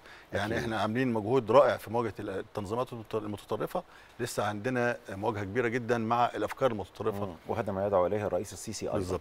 بشكرك شكرا جزيلا على حوارك معنا شكراً. أستاذ أحمد رفعت الكاتب الصحفي والمحلل السياسي. كما أشكر جزيل الشكر الأستاذ أحمد عليبه رئيس وحدة التسليح بالمركز المصري للفكر والدراسات الاستراتيجية. شكرا جزيلا لك أستاذ أحمد. آه، لسه مكملين معاكم آه، في هذه الحلقة من المواجهة ولكن قبل أن نذهب إلى حوارنا التالي مع أستاذنا الكبير الأستاذ عبد الحليم قنديل نقرأ على حضراتكم هذا الخبر. أعلنت الدكتورة هالة زايد وزيرة الصحة آه، عن إجراء تحاليل ل 1904 حالات مشتبه في إصابتها بفيروس كورونا المستجد بمصر بداية من شهر يناير الماضي. وحتى اليوم الأربعاء مؤكدة أن جميعها جاءت سلبية ما عدا حالتي الشخصين الاجنبيين والذي تم الإعلان عنهما مسبقا. وأوضحت الوزيرة أنه لم يثبت إيجابية أي حالة مشتبه في إصابتها بفيروس كورونا المستجد في مصر حتى الآن سوى حالتان. الأولى لشخص أجنبي كان حامل للفيروس وتلقى رعاية طبية فائقة وتم إجراء تحليل له. وهو ما يسمى PCR تحت إشراف كل من وزارة الصحة والسكان ومنظمة الصحة العالمية عدة مرات متتالية. آخرها بعد قضائه 14 يوما داخل الحجر الصحي وجاءت نتيجة التحليل سلبية في كل مرة وغادر الحجر الصحي. وأضافت أن الحالة الثانية هي لشخص أجنبي تم الإعلان عنها يوم الأحد الماضي وتم عزله على الفور بمستشفى العزل المخصص لذلك مشيرة إلى أنه يتلقى الرعاية الطبية وحالته مستقرة وفي تحسن مستمر ولافته إلى أن جميع فحوصاته تؤكد تحسن حالته. ولفتت أيضا إلى استمرار تطبيق إجراءات الحجر الصحي على جميع العاملين بمقر عملهم والجهات المعاونة لهم والذين بلغ عددهم أكثر من 2500 شخص كإجراء احترازي موضحة أنه لم يتم الاشتباه في أي حالة بالإصابة بفيروس كورونا المستجد وتم اتخاذ كافة الإجراءات الوقائية الاحترازية حيالهم. نشاهد هذا البيان من وزيرة الصحة ونعود إليكم مرة أخرى. بسم الله الرحمن الرحيم. البيان المحدث لوزارة الصحة والسكان عن الوضع الوبائي لفيروس الكورونا المستجد في جمهورية مصر العربية 4 مارس 2020 من يوم 7 يناير 2020 حتى اليوم تم إجراء 1904 تحليل لحالات مشتبه بها جميعها سلبية ما عدا الحالتين الحالة الأولى كان حامل للفيروس وتعافى والحالة الثانية تخضع للعلاج ما زالت تخضع للعلاج وفي تحسن مستمر وجميع العلامات الحيوية في تحسن وكذلك الأشعات ال- التي تم إجراءها اليوم في المتابعة تؤكد تحسن الحالة. هذا بالإضافة ل 41 معتمر تم عمل آه، آه، فحوصات لهم في حالات مشتبهة وجميعها سلبية.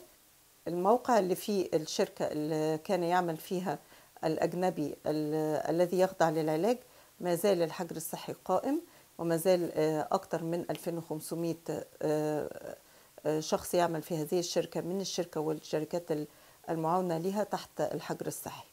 وجميعهم في حالة طيبة ولا يوجد أي اشتباه في أي إصابة.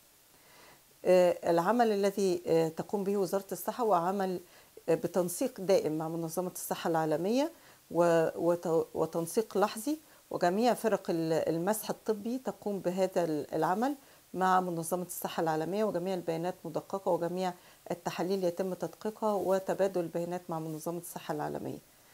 في هذا السياق أود أن أشكر جميع العاملين في وزارة الصحة والجهات والمؤسسات التابعة لها على التفاني في العمل والإخلاص في العمل على مدى الأيام السابقة وعلى مدى الشهرين السابقين وأخص بالذكر قطاع الطب الوقائي والحجر الصحي وفرق العزل وفرق الترصد وجميع وهيئة الإسعاف المصرية وجميع العاملين في المواني والم- والمطارات والمواني البرية وكذلك فرق التي تقوم بالاستقصاء عن كافة المخالطين وجميع العاملين في وزارة الصحة وكل القطاعات والهيئات والمؤسسات التابعة لها. وأشكرهم وأشكر ذويهم وأ- وأسرهم آه، لتحمل هذا النوع من العمل والإخلاص فيه. إن شاء الله بكرة بإذن الله نق- نقوم بعمل آه، بيان محدث ولكن في حالة ثبوت أي حالة إيجابية في أي وقت. ستقوم منظمة الصحة العالمية ووزارة الصحة بإعداد بيان مشترك و- و- وإطلاع الع- ال- آه، الجميع عليها آه، لحظيا. أشكركم.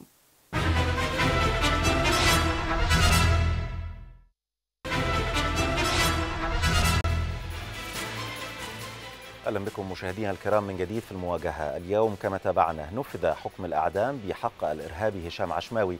الذي خان الوطن وارتكب العديد من الجرائم سواء في مصر أو في ليبيا، واليوم على قدر الحزن والأسى من جرائمه جاء القصاص للشهداء الأبرار بأعدامه، هذا سيكون موضوع النقاش الأول في هذه الفقرة مع قراءة أيضا في آخر تطورات المشهد العربي في العراق وسوريا وليبيا. ولقاء يتجدد دائما مع الكاتب الصحفي الكبير الأستاذ عبد الحليم قنديل. برحب بيك يا أستاذ عبد أهلاً الحليم وسهلاً. أهلاً بحضرتك. وسهلاً. اذا اليوم نفذ حكم الأعدام بحق الارهابي هشام عشماوي. هذه هي نهاية طبيعية آه، لأي ارهابي تنفيذ حكم الأعدام. قراءتك آه، فيما آه، حدث اليوم ومحاولات طبعا الجماعة الإرهابية في ضوء ذلك من تشويه لمصر. يعني طبعا ولكم في القصاص حياة أولي الألباب يعني هذا قول الله سبحانه وتعالى. فمن قتل يقتل ولو بعد حين. فالفكرة الأساسية أنه هذه الظاهرة باعتبارها ظاهرة آه، عنفية. آه، لابد من ردعها. يعني العمل المباشر على جبهة الأمن لابد من ردعها ردعا تاما. والمراقب المنصف يلحظ إنه في تناقص في عدد العمليات الإرهابية في مصر من عام 2015 إلى الآن. ربما يكون عام 2015 هو عام الذروة. آه لكن في كل الأحوال حتى في لحظات الذروة لم يحدث ابدا أن تمكن أي تنظيم إرهابي خاصة في شمال شرق سيناء فيما اسمي في وقت من الأوقات بمثلث الرعب. شرق العريش رفح الشيخ زويد آه من كسب شبر أرض. بمعنى إقامة موديل أو تصور ل- لدولة آه، تكافئ الشعار اللي اسمه ولاية سيناء اللي هو الفرع المصري من تنظيم داعش فلم لم ينجح أحد على أي نحو حتى في لحظات الذروه في أن يفعل ذلك.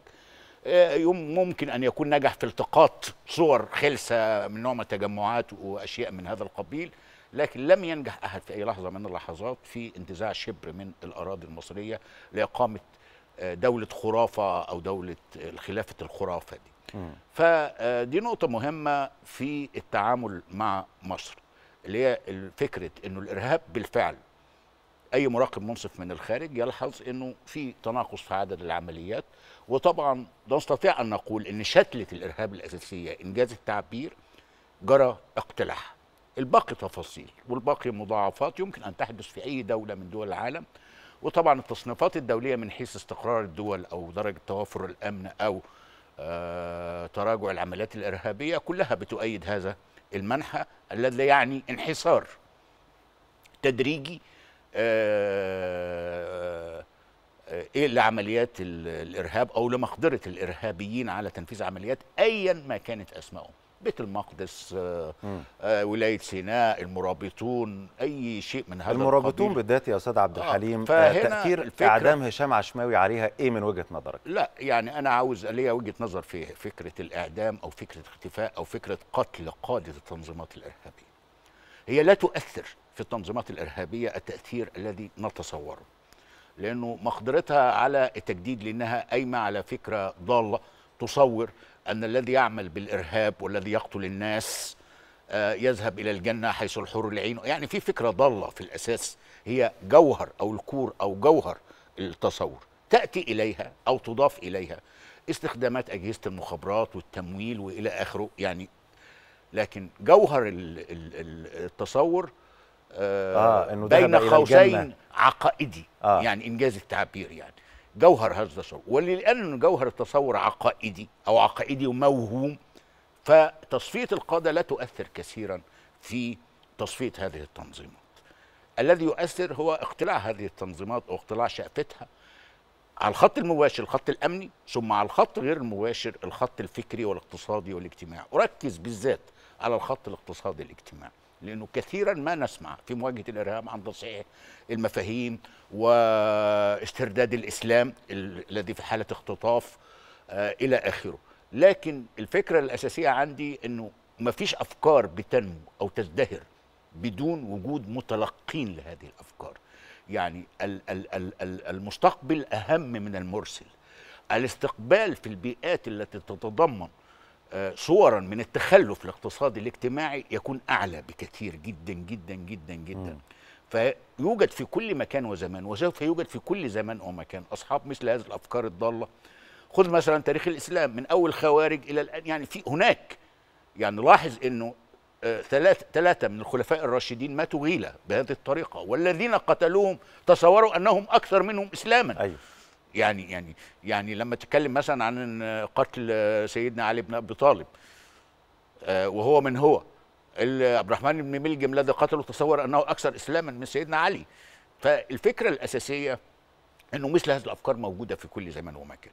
لكن ماذا يطرد هذه الأفكار؟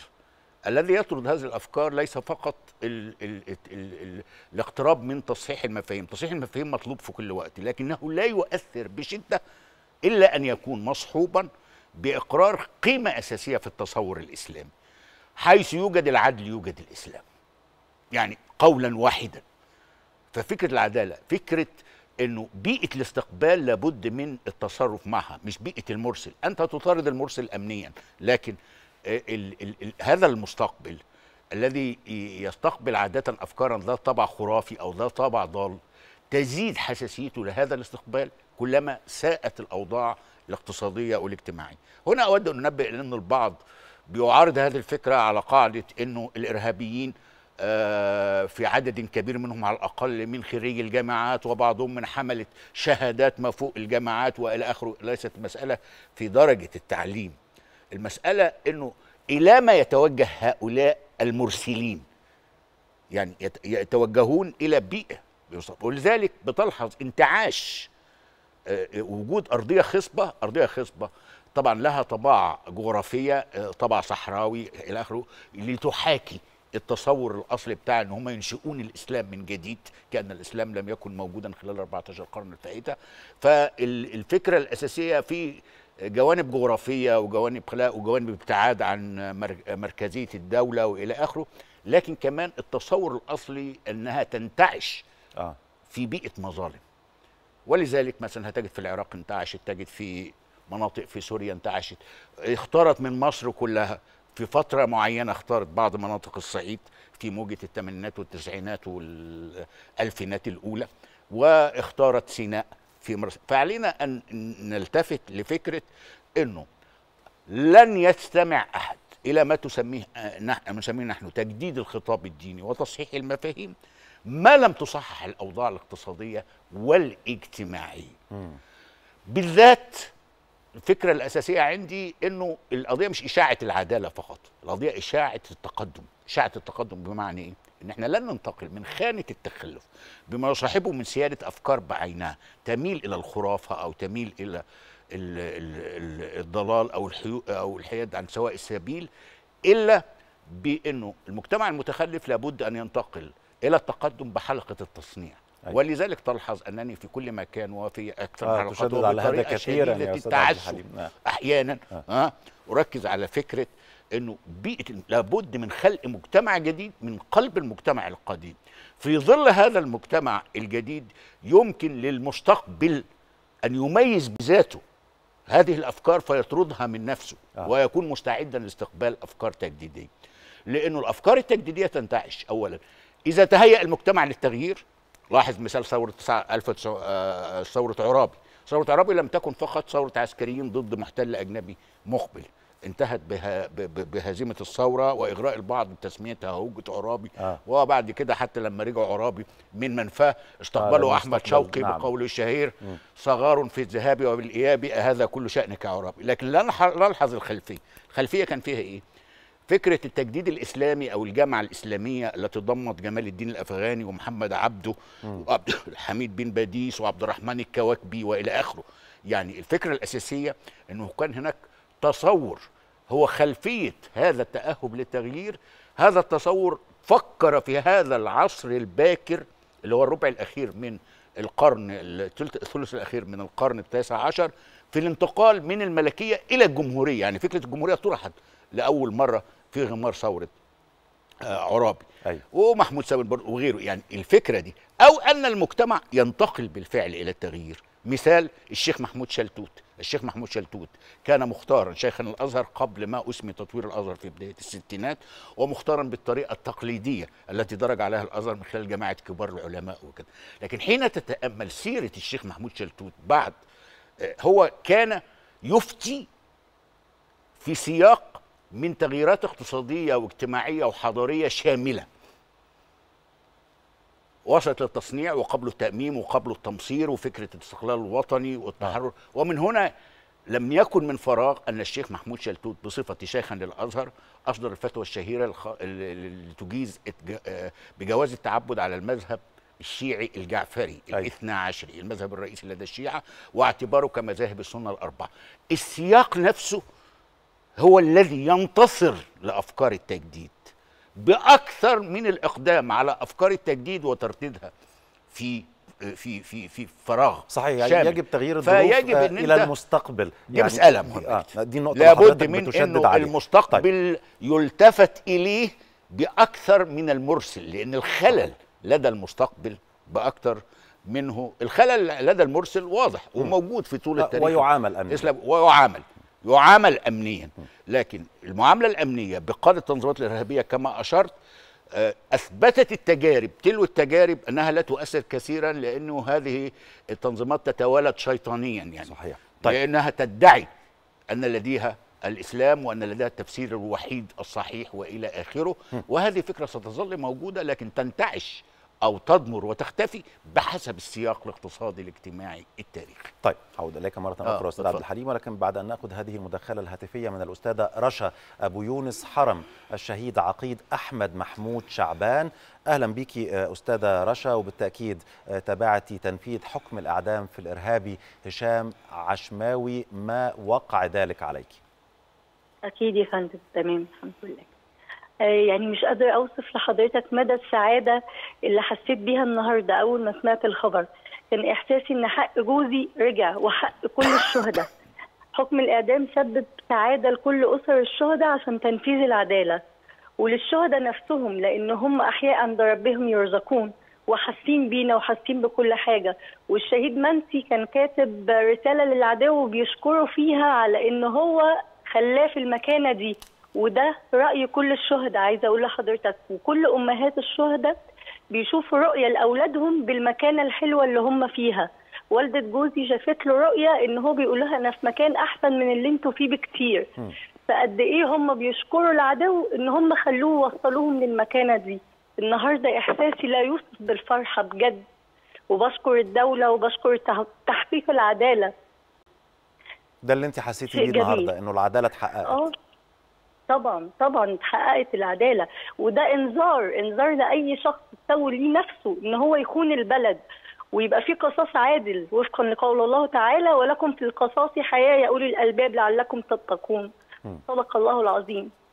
يعني عايزة أقول لحضرتك إن النهارده أهل عشماوي دولت يعني حسوا بحرقة قلوبنا وقد إيه إحنا عايشين في نار بفقدان أزواجنا. وولادنا اللي تيتموا والأمهات وشافوا ولادهم. يستشهدوا مم. طيب آه، يعني آه، أستاذة رشا آه، أنت بالتأكيد يعني لما يعني عرفتي أو علمتي بهذا الإعدام للارهابي هشام عشماوي تذكرتي زوجك الشهيد عقيد أحمد محمود شعبان ويمكن اللي كان بيقوله لك أو بيحكوه لك عن كل هذه العمليات الإرهابية اللي كان بيتصدى ليها وما زال بيتصدى جيشنا المصري وشرطتنا. تمام. أنا عايزة أقول لحضرتك أنا مش بنساه أصلا هو على طول في بالي بس طبعا الخبر ده خلاني كان بيقول لك إيه لما يكون رايح. في عملية يعني من هذا النوع بص حضرتك هو ما كانش بيتكلم عن شغله خالص يعني أنا في حاجات كتير عرفتها عنه بعد استشهاده هو مم. كان دقيق جدا إن هو ما يحكيش أي حاجة قدامي كنت اما بسأله الأوضاع عاملة إيه هناك في سينا طمني يقول لي ما أنت بتعرفي من التلفزيون ما تقلقيش سينا هتتطهر وإحنا مش هنسيبها إلا لما نطهرها. وحتى لو كل يوم مات شهيد هيجي بعدنا اللي يكمل المشوار. ما أيوة. كانش بيرضى يحكي حاجة. مم. مم. لكن انت كنت بتشعري كل طبعا. الأحداث آه طبعا طبعا. وهو بس بكون عارفة إن هو نازل مداهمة. هو ده كل اللي كان بيقوله لي. بس عشان التليفون ما بيبقاش فيه شبكة فعشان نبقى مطمنين عليه. مم. لما بقول له التليفون أنا قلقانه علشان أنا ما اطمنتش عليك فبيقول لي لا ما تقلقيش لو حصل حاجة هم هيبلغوكي. يعني هو متوقع الشهادة. الله يرحمه ويرحم كل شهدائنا. ربنا آه، يرحمه ويصبرنا. وإن شاء الله. يكون يعني هذا الحكم بإعدام الارهابي هشام عشماوي آه، أتلج آه، صدور أمهات وزوجات وأبناء كتير. الشهداء. بشكرك شكرا جزيلا على هذه المداخلة. استاذه رشا أبو يونس حرم الشهيد عقيد أحمد محمود شعبان. أستاذ عبد الحليم قنديل آه، نرجع. لحكم الأعدام مرة أخرى ولما بناخد هذه المداخلات آه، يعني مع طبعا زوجات آه، آه، يعني راحت نفس ال- بالتاكيد الشهداء وراحت نفس آه. أسرهم مسألة مهمة. بس ما هو اسبق من ذلك. أنا أريد أن أقول ببساطة أن كل الناس يعيشون ويموتون. الذي يموت ال- الشيء المستقر في ثقافتنا ذات الجذر الإسلامي بالضرورة أن ال- الشهيد في المرتبة الأعلى الشهداء أحياء عند ربهم يرزقون. فالجزء الجوهري فكرة رغبة الشهادة. رغبة الشهادة عنصر يعني آه يعني أح يعني آه أفضل ما في ثقافتنا الذاتية اعتبار إنه الموت شهيدا هو غاية قمة هي قمة الأمنيات لدى الفرد الذي ينشأ في بيئة الثقافة الإسلامية. هؤلاء على الجانب الآخر الذين يختطفون الإسلام لا يموتون ميتة الشهداء. مم. هم بس يموتون- بيشوفوا كده. هم يموتون ميتة كلاب النار. مم. وكلمة كلاب النار دي يعني مسألة مستقرة في التاريخ الإسلامي وفي تاريخ الفقه الإسلامي في وصف هؤلاء منذ بدأ الإسلام. وأنا أشرت لأنه ي- مثال كمثال الإمام علي. الإمام علي في قمة صراعه مع معاوية وهو من هو؟ الإمام علي ابن أبي طالب. كان يقول التالي كان يقول لقد التقينا يعني التقينا في الحرب أنصار علي وأنصار معاوية. وربنا واحد ونبينا واحد ودعوتنا إلى الإسلام واحد. شوف في هذا الزمن المبكر جدا وهذا النضج كان يميز فكرة انه الصراع على الخلافة أمر دنيوي تماما. دنيوي تماما. وليس شأنا دينيا. لم يكفر محاربيه رغم المكانه العليا للإمام علي. و- فهنا الإمام علي نفسه اللي آه، لما خرج عنه الخوارج قد حكمت وقالوا له قد حكمت في الكتاب ولن نصلي بعد اليوم خلفك. ثم قتلوه. يعني عبد الرحمن بن ملجم الذي قتل الإمام علي كان حافظا للقرآن. ما هي مش بالمظاهر. أيوه. يعني هي الفكرة الأساسية إنه الدين كدين قائم. مم. الذي يمشي بيننا الذي يمشي بيننا هو تفسيرنا لهذا الدين. مم. هذا التفسير لما أجي أتكلم عن تفسير الإمام علي وتفسير الخوارج أمر طبيعي جدا. لدى الاعتقاد الفطري لدى أي مسلم صحيح النية إنه ينحاز للإمام علي. فهنا الإمام علي في هذا الوقت المبكر وكان له بوصفه الخليفة المختار. آه. لأن معاويه خرج على خلافة الإمام علي أن يضفي طابعا دينيا اخرويا على ال- ال- ال- الفكرة فهذا الكلام في فرق هائل جدا بين الشهداء وطبعا نحن لا نزكي على الله احدا لكن بحسب ما رأينا من وقائع التاريخ دائما ال ال ال ال ال الشهادة غير مرتبطة لا باعتقاد ضال ولا مرتبطة بأحقاد ومرتبطة بمعاني سامية مطلقة لصالح كل الناس ولصالح أغلب الناس لكن للأسف يا أستاذ الحليم ده اللي بيقوله القيادات الإرهابية آه، ل آه، يعني تابعيهم في هذه المجموعات اللي هي إيه؟ إن دي شهادة لا ما هو ما هو أنت في النهاية أنت في صدد عملية اختطاف شامل للاسلام. يعني الاختطاف الشامل للإسلام أنت لما تيجي تتكلم عن إنه أنا بدعو لنشر الإسلام أنت بتتجاهل دلوقتي إنه إن النبي محمد عليه الصلاة والسلام هو النبي الخاتم انقطع الوحي. فمن هنا بدأت السيرة البشرية. أيوه بدأت منذ انقطاع الوحي السيرة البشرية للذين أوحي إليهم والذين وصلتهم الرسالة. هنا فكرة إساءة التفسير أو تعدد التفسيرات سوف تظل ملازمة إلى يوم يبعثون. أنا كما قلت إنه التفسيرات الخرافية من جهة اللي بتوصل مثلا بتشوف تفسيرات من نوع آه، عن جواز أكل لحم العفاريت ولا لأ؟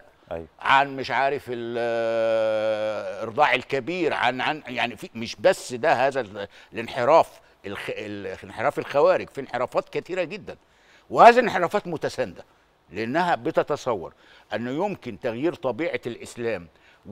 وابتداع طبقة وسيطة اسمها رجال الدين أو المشايخ أو بتاع كعنصر تفسير في النص. الإسلام لا يعرف سلطة دينية يعرف الأخذ المباشر كل طائره في عنقه. أنت مش هتتحاسب عشان فلان قال لك كذا. لا أنت ماذا فهمت؟ تستطيع أن تسعى لدى العالم لكي تفهم لكنك لست ملزما بعد أن تفهم وبعد أن تتبين لك الآراء بأخذ رأي بذاته. استفتى قلبك. بالظبط. يعني المسألة مختلفة جدا. في الإسلام عن الأديان اللي هي فيها إكليروس أو طبقة رجال دين أو شيء من هذا القبيل. شيء عابرا الذي أريد أن أنبه له آه. إنه واحد زي ما قلت في ذروة الإرهاب لم يستطع انتزاع أح- أ- لم يستطع أحد انتزاع شبر من مصر.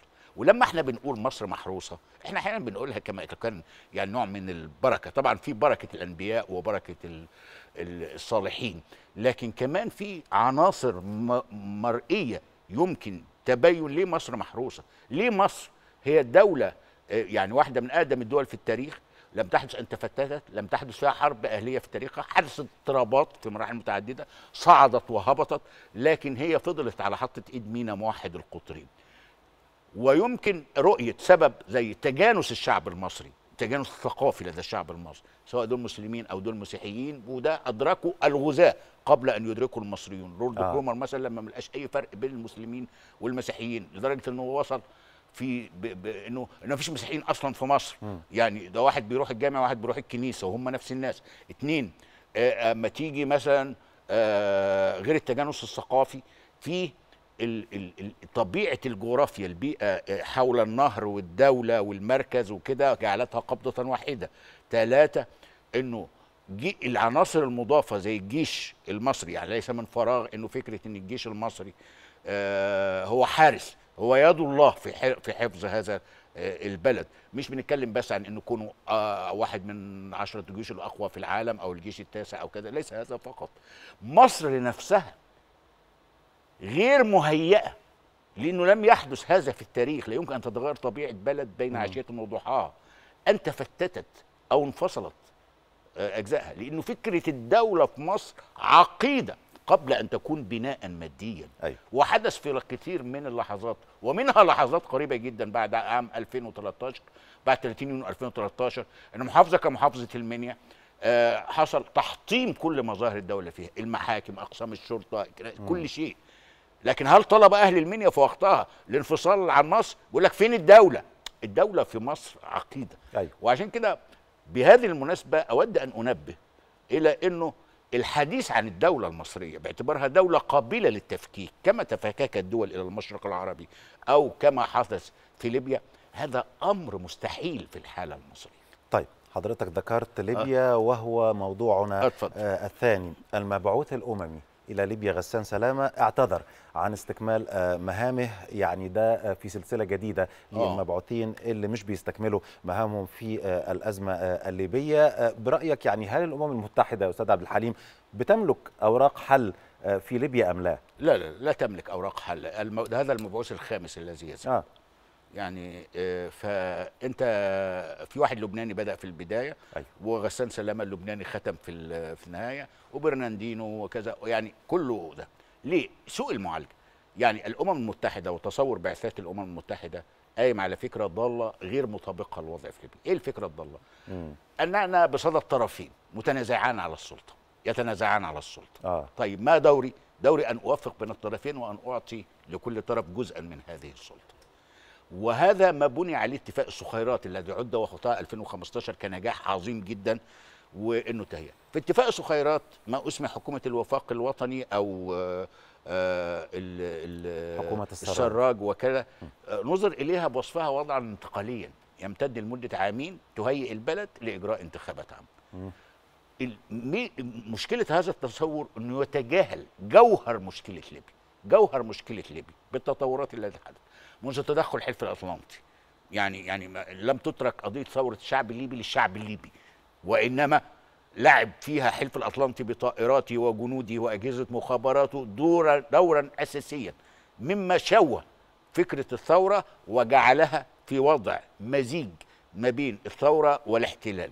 ثم بعد ذلك تحطيم ال ال ال ال الأساس الدولة الليبية. وللإنصاف مشكلة أساس الدولة الليبية إن العقيد القذافي رحمه الله بتصوراته عن الجماهيرية وآخره هو ساهم في فكره تحطيم الجيش وحوله إلى كتائب متفرقة ومثال بشكل بعد دخول حلف الأطلنطي على الخط وتحطيم ما تبقى من قواعد وإلى آخره انتفت فكرة العمود الفقري للدولة الليبية الذي هو جيشها. هي دولة متسعة المساحة جدا 1700 كيلو متر مربع. على البحر الأبيض المتوسط ممتدة إلى 1700 كيلو متر هي دولة محدودة السكان جدا قياسا إلى مساحتها. قرابة الستة ملايين أو تزيد قليلا. هي دولة أيضا تمتاز بأنها يعني صحراء واسعة جدا والتركز السكاني والتوزيع السكاني موجود كبقع على ش... آه، بقع متناثره على شاطئ البحر الأبيض المتوسط أساسا. ثم بعض البقع في العمق في في الجنوب. فهي فكرة الحفاظ على مثل هذه الدولة يستلزم آه، قوة حاسمة. فجوهر المشكلة ليس توزيع السلطة كما تصور المبعوثون الأمميون وإنما طاب جوهر المشكلة أمني أن توجد الدولة أساسا. لكي توجد الدولة دارت الحرب من 2014 إلى الآن بين ما أصبح يعرف بالجيش الوطني الليبي وبين حكومة السراج التي هي عبارة عن قناع لمجموعات آه، آه، لا أحب تعبير متطرفه مجموعات إرهابية الطابع وخارجة عن القانون عن قانون الدولة عن فكرة الدولة نفسها. من أول الإخوان إلى القاع المنظ... ال... ال... ال... ال... الجبهة الليبية المقاتلة إلى القاعدة إلى إلى إلى داعش إلى أنصار الشريعة إلى إلى إلى آخره. هؤلاء كونوا عصابات على خريطة ليبيا. ليبيا في وقت من الأوقات كان فيها 1600 ميليشيا. 1600 بين ميليشيات تزعم لنفسها أساسا عقائديا إنها عاوزة تقيم دولة الخلافه آه، في ليبيا. آه، قاعدية وإخوانية وداعشية إلى آخره كلهم في النار. آه، وفي نفس الوقت بين عصابات إجرام بتخطف الناس أو تسرقهم أو تعتدي على وكذا. فالتطور اللي حصل في ليبيا من 2014 إلى الآن وكان الذي ي... وكان هذا الذي يجب أن ينتبه إليه السيد غسان سلامة هو محاولة لإقامة الدولة من جديد. بدأت من الشرق وبمعارك من معركة بنغازي لمعركة ديرنا لمعركة الهلال النفطي لمعركة الجنوب آه، فتزان إلى آخره وصولا لمعركة طرابلس الجاري. أنت لديك طرف لديه 85% على الأقل. من مساحة ليبيا ولديه 95% من أبار البترول وخطوط آه، انابيب النقل والمواني وإلى آخره وطرف آخر محصور في مساحة محدودة من ليبيا هي بالضبط طرابلس وإلى شرقها مصراتة وإلى غربها آه. الزاوية ببساطة فأنت هنا أي إعاقة لفكرة التقدم لإعادة بناء ال- الدولة أو الأساس العمود الفقري للدولة لأن قبل ما تتكلم عن إنها هقيم دولة مدنية ولا دولة مش آه. عارف إيه ولا يبقى في دوله في دولة. من الأساس طبعا. يوجد دولة آه. من الأساس. ثم بعد ذلك مش يوجد اتفاق ينطوي في باطنه على تجديد الصراع زي اتفاق الصخيرات وإلى آخره. المشكلة إن غسان سلامة كان يحلم بصخيرات جديد يعني تعديل الصخيرات في أشخاصه. يعني كان كانت خطته كده. من خلال المسارات الثلاثه الثلاث آه الثلاثة التي ابتدعها المسار العسكري والمسار آه. الاقتصادي والمسار السياسي. هو عاوز وكان يدس أنفه في فكرة اختيار ناس و- ومشاكل آه. بالشكل ده فلا مؤتمر جداء إيه مفهوم غدامس الصخيرات اتنين يا أستاذ عبد الحليم الصخيرات لو كان اتنين انه يحافظ؟ على فكرة المجلس الرئاسي هي نفسها بس يغير شخوصه آه هو كان شايف المشكلة في الشخوص المشكلة في الأشخاص فخلينا نعمل نوع من الإرضاء لجماعة شرق ليبيا كما يسميها مجلس آه. آه. النواب الليبي أو أو آه، حفتر أو إلى آخره المسألة ببساطة جدا في في مسار لابد أن يستكمل أو إقناع الميليشيات. يعني تخيل إن جزء المسألة يقول لك دمج الميليشيات في الجيش. يعني إيه؟ آه. يعني إيه؟ يعني أنا هدمج الأتراك في الجيش الليبي مثلا. مم. هدمج الميليشيات اللي جاية من إدلب أو من سوريا المرتزقة في الجيش. يعني هذا يعني هذه طرق أو توهمات لحلول لا تنطوي إلا على تجديد الأزمة إلى ما لا نهاية. لذلك أنا الحظ ما هو أهم من بعثة غسان سلامة. حسنا أنه استقال هو حاول لكنه في النهاية اختط طريقا. ولكن تصوري سيكون هناك مبعوث جديد وسيفكر بنفس طريقة الأمم المتحدة وأنا رأيي. إنه علينا أن ننسى فكرة الأمم المتحدة ننسى فكرة ما يسمى المجتمع الدولي ننسى فكرة آه، غسان سلامة أو مبعوث الامم المتحده المسألة ببساطة يا أستاذ شادي على الأرض دلوقتي. الوقائع على الأرض لابد أن تحسم. يعني إيه الوقائع على الأرض لابد أن تحسم؟ لاحظ إن بنغازي أخذت آه، سنوات أيوة. للتحرير وهي تاني أهم مدينة آه، في ليبيا. آه، آه، ودرنا حتى هذا الجيب الذي ترك لبعض الوقت ثم عاد اليه الجيش الوطني الليبي ليصاب فيه لاحظ إن تاريخ ليبيا لا يجب أن ننسى ليبيا كانت ثلاث ولايات أيوة. لحد أواسط الخمسينيات لحد 1953 مم. وهي اتحدت مع الحركة السنوسيه صوفية الطابع وكذا لاحظ كمان إن الجيش الليبي حين نشأ في زمن الملك السنوسي آه، نشأ في أبو رواش في مصر. صحيح. من هنا إحنا ليه لما نيجي نقول ليه إحنا بنساهم؟ في إحياء الدولة الليبية وفي إنشاء الجيش الوطني الليبي وفي دعم الجيش الوطني الليبي. نحن نرتكز إلى ميراث عميق. هذا الميراث ليس فقط علاقات الجوار ومخاطر الأمن لكن كمان في طابع اجتماعي متسع. طابع اجتماعي قديم متعلق بالانتشار القبلي على جانبي الحدود أولاد علي وغيرها وطابع اجتماعي مستجد في العقود الأخيرة في ثلث اللي الليبيين الحاليين من أصول مصرية. يعني إيه من أصول مصرية؟ يا إما من أم مصري أو من أب. في اختلاط واسع النطاق. فمن هنا تهمنا ليبيا آه، مش تهمنا ليبيا بافتعال تهمنا ليبيا لأن مصير ليبيا هو آه. آه. مصير مصر ذاتها. فهنا الذي يجب أن يجري على الأرض وبدأت الأطراف الغربية تدرك ذلك أخيرا. يعني آخر خبر من ليبيا إنه وفود من دول غربية متعددة من ألمانيا وفرنسا وإيطاليا راحت قابلت المشير خليفة حفتر في مقر قيادته في الرجمة شرق بنغازي. آه، قبلها المبعوث الأمريكي لأنه دائما كان هناك هو أمريكا إيه رأيها في ال- في, آه. في اللي بيجري في ليبيا. المبعوث الأمريكي حين أدلى بايفته التي أشرت إليها في الحلقة السابقة قبل أيام ودي منشورة فيما يزيد على 1500 كلمة باللغة الإنجليزية مفصلة لأول مرة يفصل هذا الموقف ال- ال- ال- المستفاد من هذا الموقف بصورة حاسمة إنه قال إنه شرق ليبيا وبنغازي أكثر استقرارا بمراحل من طرابلس المفترض إن هو مقر إقامته في طرابلس الذي يجب أن يسع هو ليس مقيما في طرابلس هو مقيم في تونس آه. وغيرها فالاثنين إن المشير خليفة حفتر له مستقبل كبير في له دور كبير في مستقبل صناعة مستقبل ليبيا. الدول الكبرى آه، إن الأطراف المتداخلة في ليبيا فيها طرف تركي يدعم الميليشيات لكن الأطراف الأخرى التي يشار إليها بالبنان على إنها متدخلة كمصر والإمارات وغيرها لا تتدخل بالطريقة لا لن ترسل قوات. نحن نرسل جنودا فهنا حسنا أن تحرر الوضع الليبي من مخاتلات الأمم المتحدة ومخاتلات مبعوثيها. الواجب لا نعرف إذا تحرر أم لا نعرف فقط أنه غسان سلامه حتى اعتذر حتى طيب. لو حتى لو لم تقبل استقالته حتى آه. لو عينوا شخصا آخر أيوة. أنا أعتقد إن هذا طريق آه، الضلال وطريق مفاقمه الأزمة لا طريق لابتدار الحلول لأن طيب. الأزمة لابد أن تحسم امنيا يعني تتحرر باقي ليبيا وحرر الجيش الوطني ما تبقى من جيوب. لجماعات الإرهاب في ليبيا اثنين تشرف الأمم المتحدة على إجراء انتخابات عامه. في ليبيا المؤمنة بجيشها كما بقية الدول على خرائط العالم طيب هذا هو الملف الليبي وننتقل يا أستاذ عبد الحليم إلى الملف العراقي آه، هناك تطورات يعني وسط هذه الأزمة في العراق اعتذر محمد توفيق علاوي عن استكمال مهمته رغم أنه كان قاب قوسين أو أدنى يعني من الإعلان عن تشكيل الحكومة صحيح. ظهر اسم مصطفى الكاظمي. مدير جهاز المخابرات فقوبل بالرفض من حزب الله العراقي أحد أكبر طبعا الفصائل. الفصائل المسلحة في العراق هدد بإشعال العراق حزب الله في العراق فيرد مدير المخابرات برفض هذه التصريحات واعتبرها تهديد للأمن والسلم الأهلي وإنه مستعد لحماية الدولة، هل هناك مخاوف على العراق من سيناريو الاقتتال الداخلي بعد هذه التصريحات؟ ال- المخاوف وقعت بالفعل. يعني اولا الاقتتال الداخلي سواء على اسس طائفية أو غير طائفية. العراق مئات الآلاف ربما الملايين سقطوا في العراق في إطار حروب ضالة. العراق آه، ابتلي بمصائب من نوع خاص جدا. جمعت كل المصائب التي أصابت اقطارا عربية أخرى تعرضت للتهشيم أو تحطيم وأضاف إليه.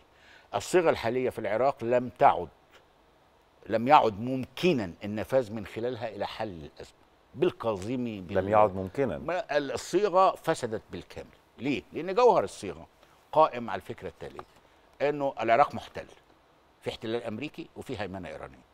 وأمريكا وإيران يحددان معا سواء بحوار ظاهر أو من وراء الكواليس اسم حكومات الدمى التي آه، تظهر في بغداد. حدث انسداد في طرق الحوار الأمامية أو الخلفية ما بين طهران وما بين واشنطن. وبالتالي كل هذه الاقتراحات في الوقت الضائع. مصطفى- الانسداد موجود. انسداد موجود. وصلت ال- وصلت الصيغة إلى نهايتها. ومن هنا تلحظ إن المتظاهرين بيقولوا إيه؟ بيقولوا ببساطة إحنا مش عاوزين أي حد من اللي حكم أو اللي شارك في أي حكومة من 2003 اللي هو تاريخ 9 أبريل 2003 تاريخ الاحتلال الأمريكي للعراق. لأنه لو لم يكن الاحتلال الأمريكي للعراق ما كانت الهيمنة الإيرانية التي ترتبت عليه. لا يمكن يعني فجأة إن إحنا ه- هنف... آه. فهنا أما تيجي مثلا تتأمل كل تصرف يعني الشارع المنتفض ببسالة متحملا. الخطف والاغتيال والقتل و... وكورونا ها؟ وإلى صحيح، آخره. صحيح. ببساله فوق آه، أربع شهور ونصف تقريبا ونصف شهر تقريبا إلى الآن سوف يستمر. اثنين حتى لو افترضت أن هدأت الأوضاع بعض الأيام أو بعض الأسابيع سوف تعود للتجدد لأنه ما يجري في العراق هو حرب تحرير وطني في صورة مظاهرات في الشارع. هي هي جوهرها أنا أطلقت عليها ذات مرة تحرير هنا وطني من من؟ من الهيمنة الإيرانية من أم من. الاحتلال الأمريكي أم من الكتل السياسية من الموجودة في العراق؟ لأنه لو لم توجد الاحتلال الأمريكي ولا الهيمنة الإيرانية ما وجدت هذه الكتل أصلا هذه الصيغه يعني هذه عرائس ماريونيت ظهرت على المسرح كاقنعه للاحتلال الأمريكي أو اقنعه الهيمنة الإيرانية الآن استنفذت هذه الصيغة بتخلي الراعيين عن فكرة الحوار بينهما خاصة بعد مقتل قاسم سليماني آه. آه. بالقرب من مطار بغداد الفكرة انفكت. وحين انفكاكها لا تستطيع أن تجد راعيا جديدا فالجديد إيه أن يرعى العراق نفسه ولذلك تجد الشعار الجوهري في المظاهرات نريد وطنا آه لاحظ إن هؤلاء المتظاهرين موجودون جغرافيا في العراق لكن هم انفكت الرابطة العروة الوثقى بينهم وبين وطنهم. مم. ولاحظ أن هذه المظاهرات تجري في المنطقة التي اصطلح عليها باسم المنطقة الشيعية اللي هي بغداد وما ومحافظات الجنوب والوسط. وهؤلاء جيلا وراء جيل تربوا على فكرة أن صدام حسين هو الشيطان بعينه. فلما تيجي في هذه المظاهرات وتجد في بعض المرات يقول لك حي الشهيد صدام. هنا المسألة رمزية لا تتعلق صدام مش هيعود لن يعود من موته. ولن يعود من قبره الفكرة الأساسية أننا نريد عودة العراق اللي هو آه. بالتطورات التي جرت تحطيميا من أول حل الجيش العراقي قانون اكتساس حزب البعث ال ال ال الابتلاء بحكم من يسمون أنفسهم بالتيار الإسلامي مم. الذي تكشف عن تيار لصوصي بامتياز لا تقارن إليه اللصوصيات الواردة في كتاب ألف ليلة وليلة المبني على خلفية بغدادية آه. وإلى آخره أنت هنا بصدد جحيم. مم. هذا طيب، الجحيم هل الجحيم ده هيتطور برد مدير المخابرات على حزب الله في العراق وهيحصل حرب أهلية حزب الله كتائب حزب الله وهي مجموعة مسلحة تابعة لإيران. جميل. هي تتهم مصطفى الكاظمي بإنه تابع للمخابرات الأمريكية. أي. يعني فهمني؟ طيب. جوهر الانشقاق. مصطفى الكاظمي اسمه لا يطرح لأول مرة. طرح من قبل. وماذا حدث طرح؟ من قبل. برضه رفض آه. ها؟ ال- ال- الفكرة الأساسية لم لم يسلك طريقا يعني. الفكرة الأساسية علينا أن نتحرر من وهم أن هناك دولة في العراق. هناك شيء يشبه الدولة يعني مبنى خيمة محطوطة كده شكلها شكل دولة. ادي الرئيس قدامك أهو وده رئيس وزراء خد بالك رئيس الوزراء المستقيل اللي هو عادل عبد المهدي. آه. وهذا أمر لم يحدث في أي دولة في التاريخ ولا في أي أزمة سياسية في التاريخ. قال لك أنا بقى مش لاعب أنا مش هدير مش هسير الأعمال. أنا أيوة. زهقت. وخد بالك من حاجات تانية طروحات أخرى طب إيه رايكم بقى يا شباب نسيبنا بقى من اختيار رئيس وزراء جديد ما نجدد لعادل عبد المهدي. طب إيه رايكم بقى يا شباب نخلي رئيس الجمهورية لأن الدستور يسمح بذلك هو الحكومة. هو رئيس الحكومة آه. فيرد عليه واحد تاني يقول لك ده تبع المخابرات الأمريكية. آه. لا هنا ما حدش عراقي أيوه أيوه اللعبة ليس فيها عراقي اللعبة ليس فيها عراقيون ولذلك أنا جزمت منذ البداية بانه يا اخوانا ايا ما كانت الألعاب ألعاب المسرح التي تدار في العراق ألعاب المسرح بتضمن إن في يعني بتفترض إن هناك مخرج أو أكثر من مخرج للعبة. المخرجون تنحوا. آه. السطح. ويلعبون في العمق في الصدام. فمنها منها مثلا مش بس كتاب حزب الله قالت لو مصطفى الكاظمي سنشهر العراق؟ كتاب حزب الله دي نفسها قالت الشركات العراقية اللي بتشتغل مع القواعد الأمريكية هنديها مهلة 15 يوم. مم. لكي بعد كده هتعملوا فيها. إيه؟ آه. هتحرقوه؟ آه. هنا هنا انت. آه ما هو التهديدات يعني, ليس- متبادلة. أنت آه. تتخيل إنه لو أنت في دولة كنت في دولة في العراق دولة في العراق يعني جيش قائم على تجنيد الوطن العام full stop نقطة. مم. ها؟ وأجهزة أمن نقطة. أنت في غابة من السلاح. أنت ببساطة شديدة التحولات التي جرت لمن يسمون بالبرلمانيين العراقيين لافتة جدا. يعني توفيق علاوي قال لك آه، أنا كان في 170 نائب ماضيين له و170 نائب دول مستو... آه، يعني عدد النواب في البرلمان العراقي 160 هو كان لازم يوصل ل 165 عشان يشكل 329 الحكومة. هو عاوز 165 آه. آه. يشكل الحكومة فالعدد كافي جدا إيه اللي حصل راحوا فين في تهديد بالمسدسات المكتومة. في في في بيئة فيها عصابات أخذت مالا كثيرا جدا شفطت العراق يعني يعني يعني حد بيسرقك وحاطط في وشك مش مطوة قرن غزال آه، مسدس. كاتم للصوت آه. وتنتهي فأنت في النهاية هو هيحكم مين هيسيطر على مين هي يعني مين فأنت العراق يحتاج إلى إعادة بناء العراق. لأنه الرعاة آه انصرفوا وتركوا الأمر ينفلت إلى نهاياته آه فهنا وقد انفلت حتى الأمر لو بالفعل. افترضت آه. جدلا إنه سوريا قال لك والله الحكومة دي تمشي آه. لن تكون هذه نهاية القصة الشعب العراقي والمتظاهرين العراقيين وحسنا هذه المرة من حسن حظ العراق مم. أن جغرافيا المظاهرات في المنطقة المسماة الشيعية لأنه جرت مظاهرات في المنطقة الغربية السنية قبل كده فاتقال إن هؤلاء إحنا هنحارب كما كان يقول المالكي آه آه هذه حرب أبناء الحسين ضد أبناء يزيد آه. طب دي حرب مين ضد مين بقى مم. فهذا هو جوهر المأزق إن الكتلة طيب. الشيعية التي كانت تستند إليها إيران تفتت وجدانها وثار عليها شارعها مم. وارتدت إلى آه، لا النظر إلى مظلومية الشيعة في مقابل طغيان السنة ولا العكس. وإنما النظر إلى مظلومية العراق طيب. في الجمهور الشيعي المتظاهر ينظر العراق الآن في وضعه الحالي باعتباره الإمام الحسين الذي يحتاج إلى من ينتصر له فيعيده عراقا طيب لا ملحقا لآخرين. من العراق إلى سوريا. دقائق آه، قليلة يا أستاذ عبد الحليم. يعني هم ثلاث دقائق وزير الداخلية التركي أعلن إن هناك حوالي 135 ألف لاجئ وصلوا إلى الحدود مع اليونان قاصدين آه، أوروبا. طبعا نعرف ما تفعله تركيا الآن على هذا الجانب. لكن على جانب آخر روسيا اتهمت تركيا بالتواطؤ مع الإرهابيين في سوريا آه، وانها كانت بتخطط لفبركة هجوم كيميائي في سراقب شمالي سوريا لإلصاق التهمة بالجيش السوري. نظره حضرتك سريعا على ما يحدث الآن.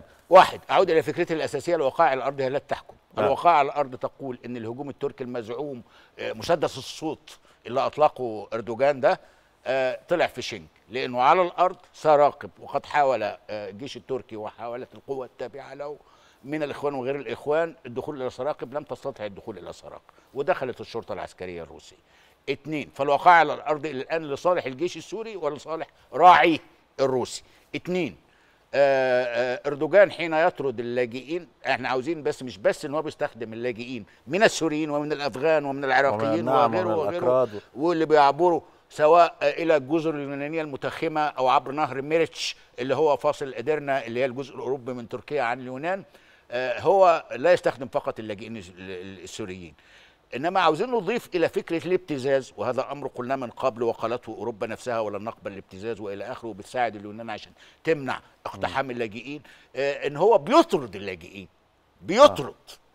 يعني هذه حركة طرد وبتوصل المساله في تقارير آه، تلفزيونية شفتها إلى إنهم بيسرقوا منهم موبايلاتهم وبيسرقوا الجيش التركي. وبياخدوا منهم كل ممتلكاتهم ويطردوهم بحيث ما لهمش البحر أمامكم أنت آه. آه. قدامكم النهر أهو نهر ميريتش اعبروه. اعبروه وخاطروا أو موتوا أو كذا لكن مش هترجعوا. ده طرد. لاحظ إنه منذ سنوات آه، آه، في إطار لبسه أو ارتدائه لمسوح إسلامية كان إردوغان يقول للمهاجرين السوريين آه، أو اللاجئين السوريين نحن الأنصار وأنتم المهاجرون. الآن يطرد السوريين. ثلاثة وهذه نقطة أخيرة اللقاء المقرر بينه وبين بوتين آه آه. سوف يعيد تقنين في تقديري ال- الوقائع على الأرض. تسعى روسيا إلى إنه آه، إردوغان ذاهب وهو يسعى لوقف إطلاق النار. لاحظ الحملة بتاعته يا دوبك يوم انتعشت اليوم الأول. بعد كده خفت آه، صوتها لأنها لم تستطع التقدم على الأرض. معركة سراقب كانت معركة دالة جدا في هذا الإطار. فهو يستنجد ويستغيث بالأمريكان ويستغيث بالأوروبيين. وكذا. يعني اللي كان بيتكلم عن إن إحنا سوف نهزم سوف نكسح سوف كذا. تحول إلى فأر صغير في مصيدة آه، إدلب.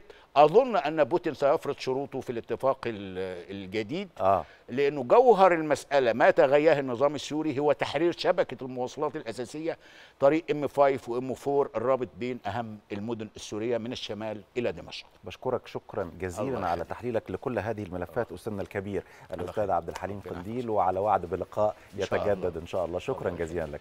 مشاهدينا بهذا بتنتهي هذه الحلقة من المواجهة. شكرا للمتابعة وإلى اللقاء.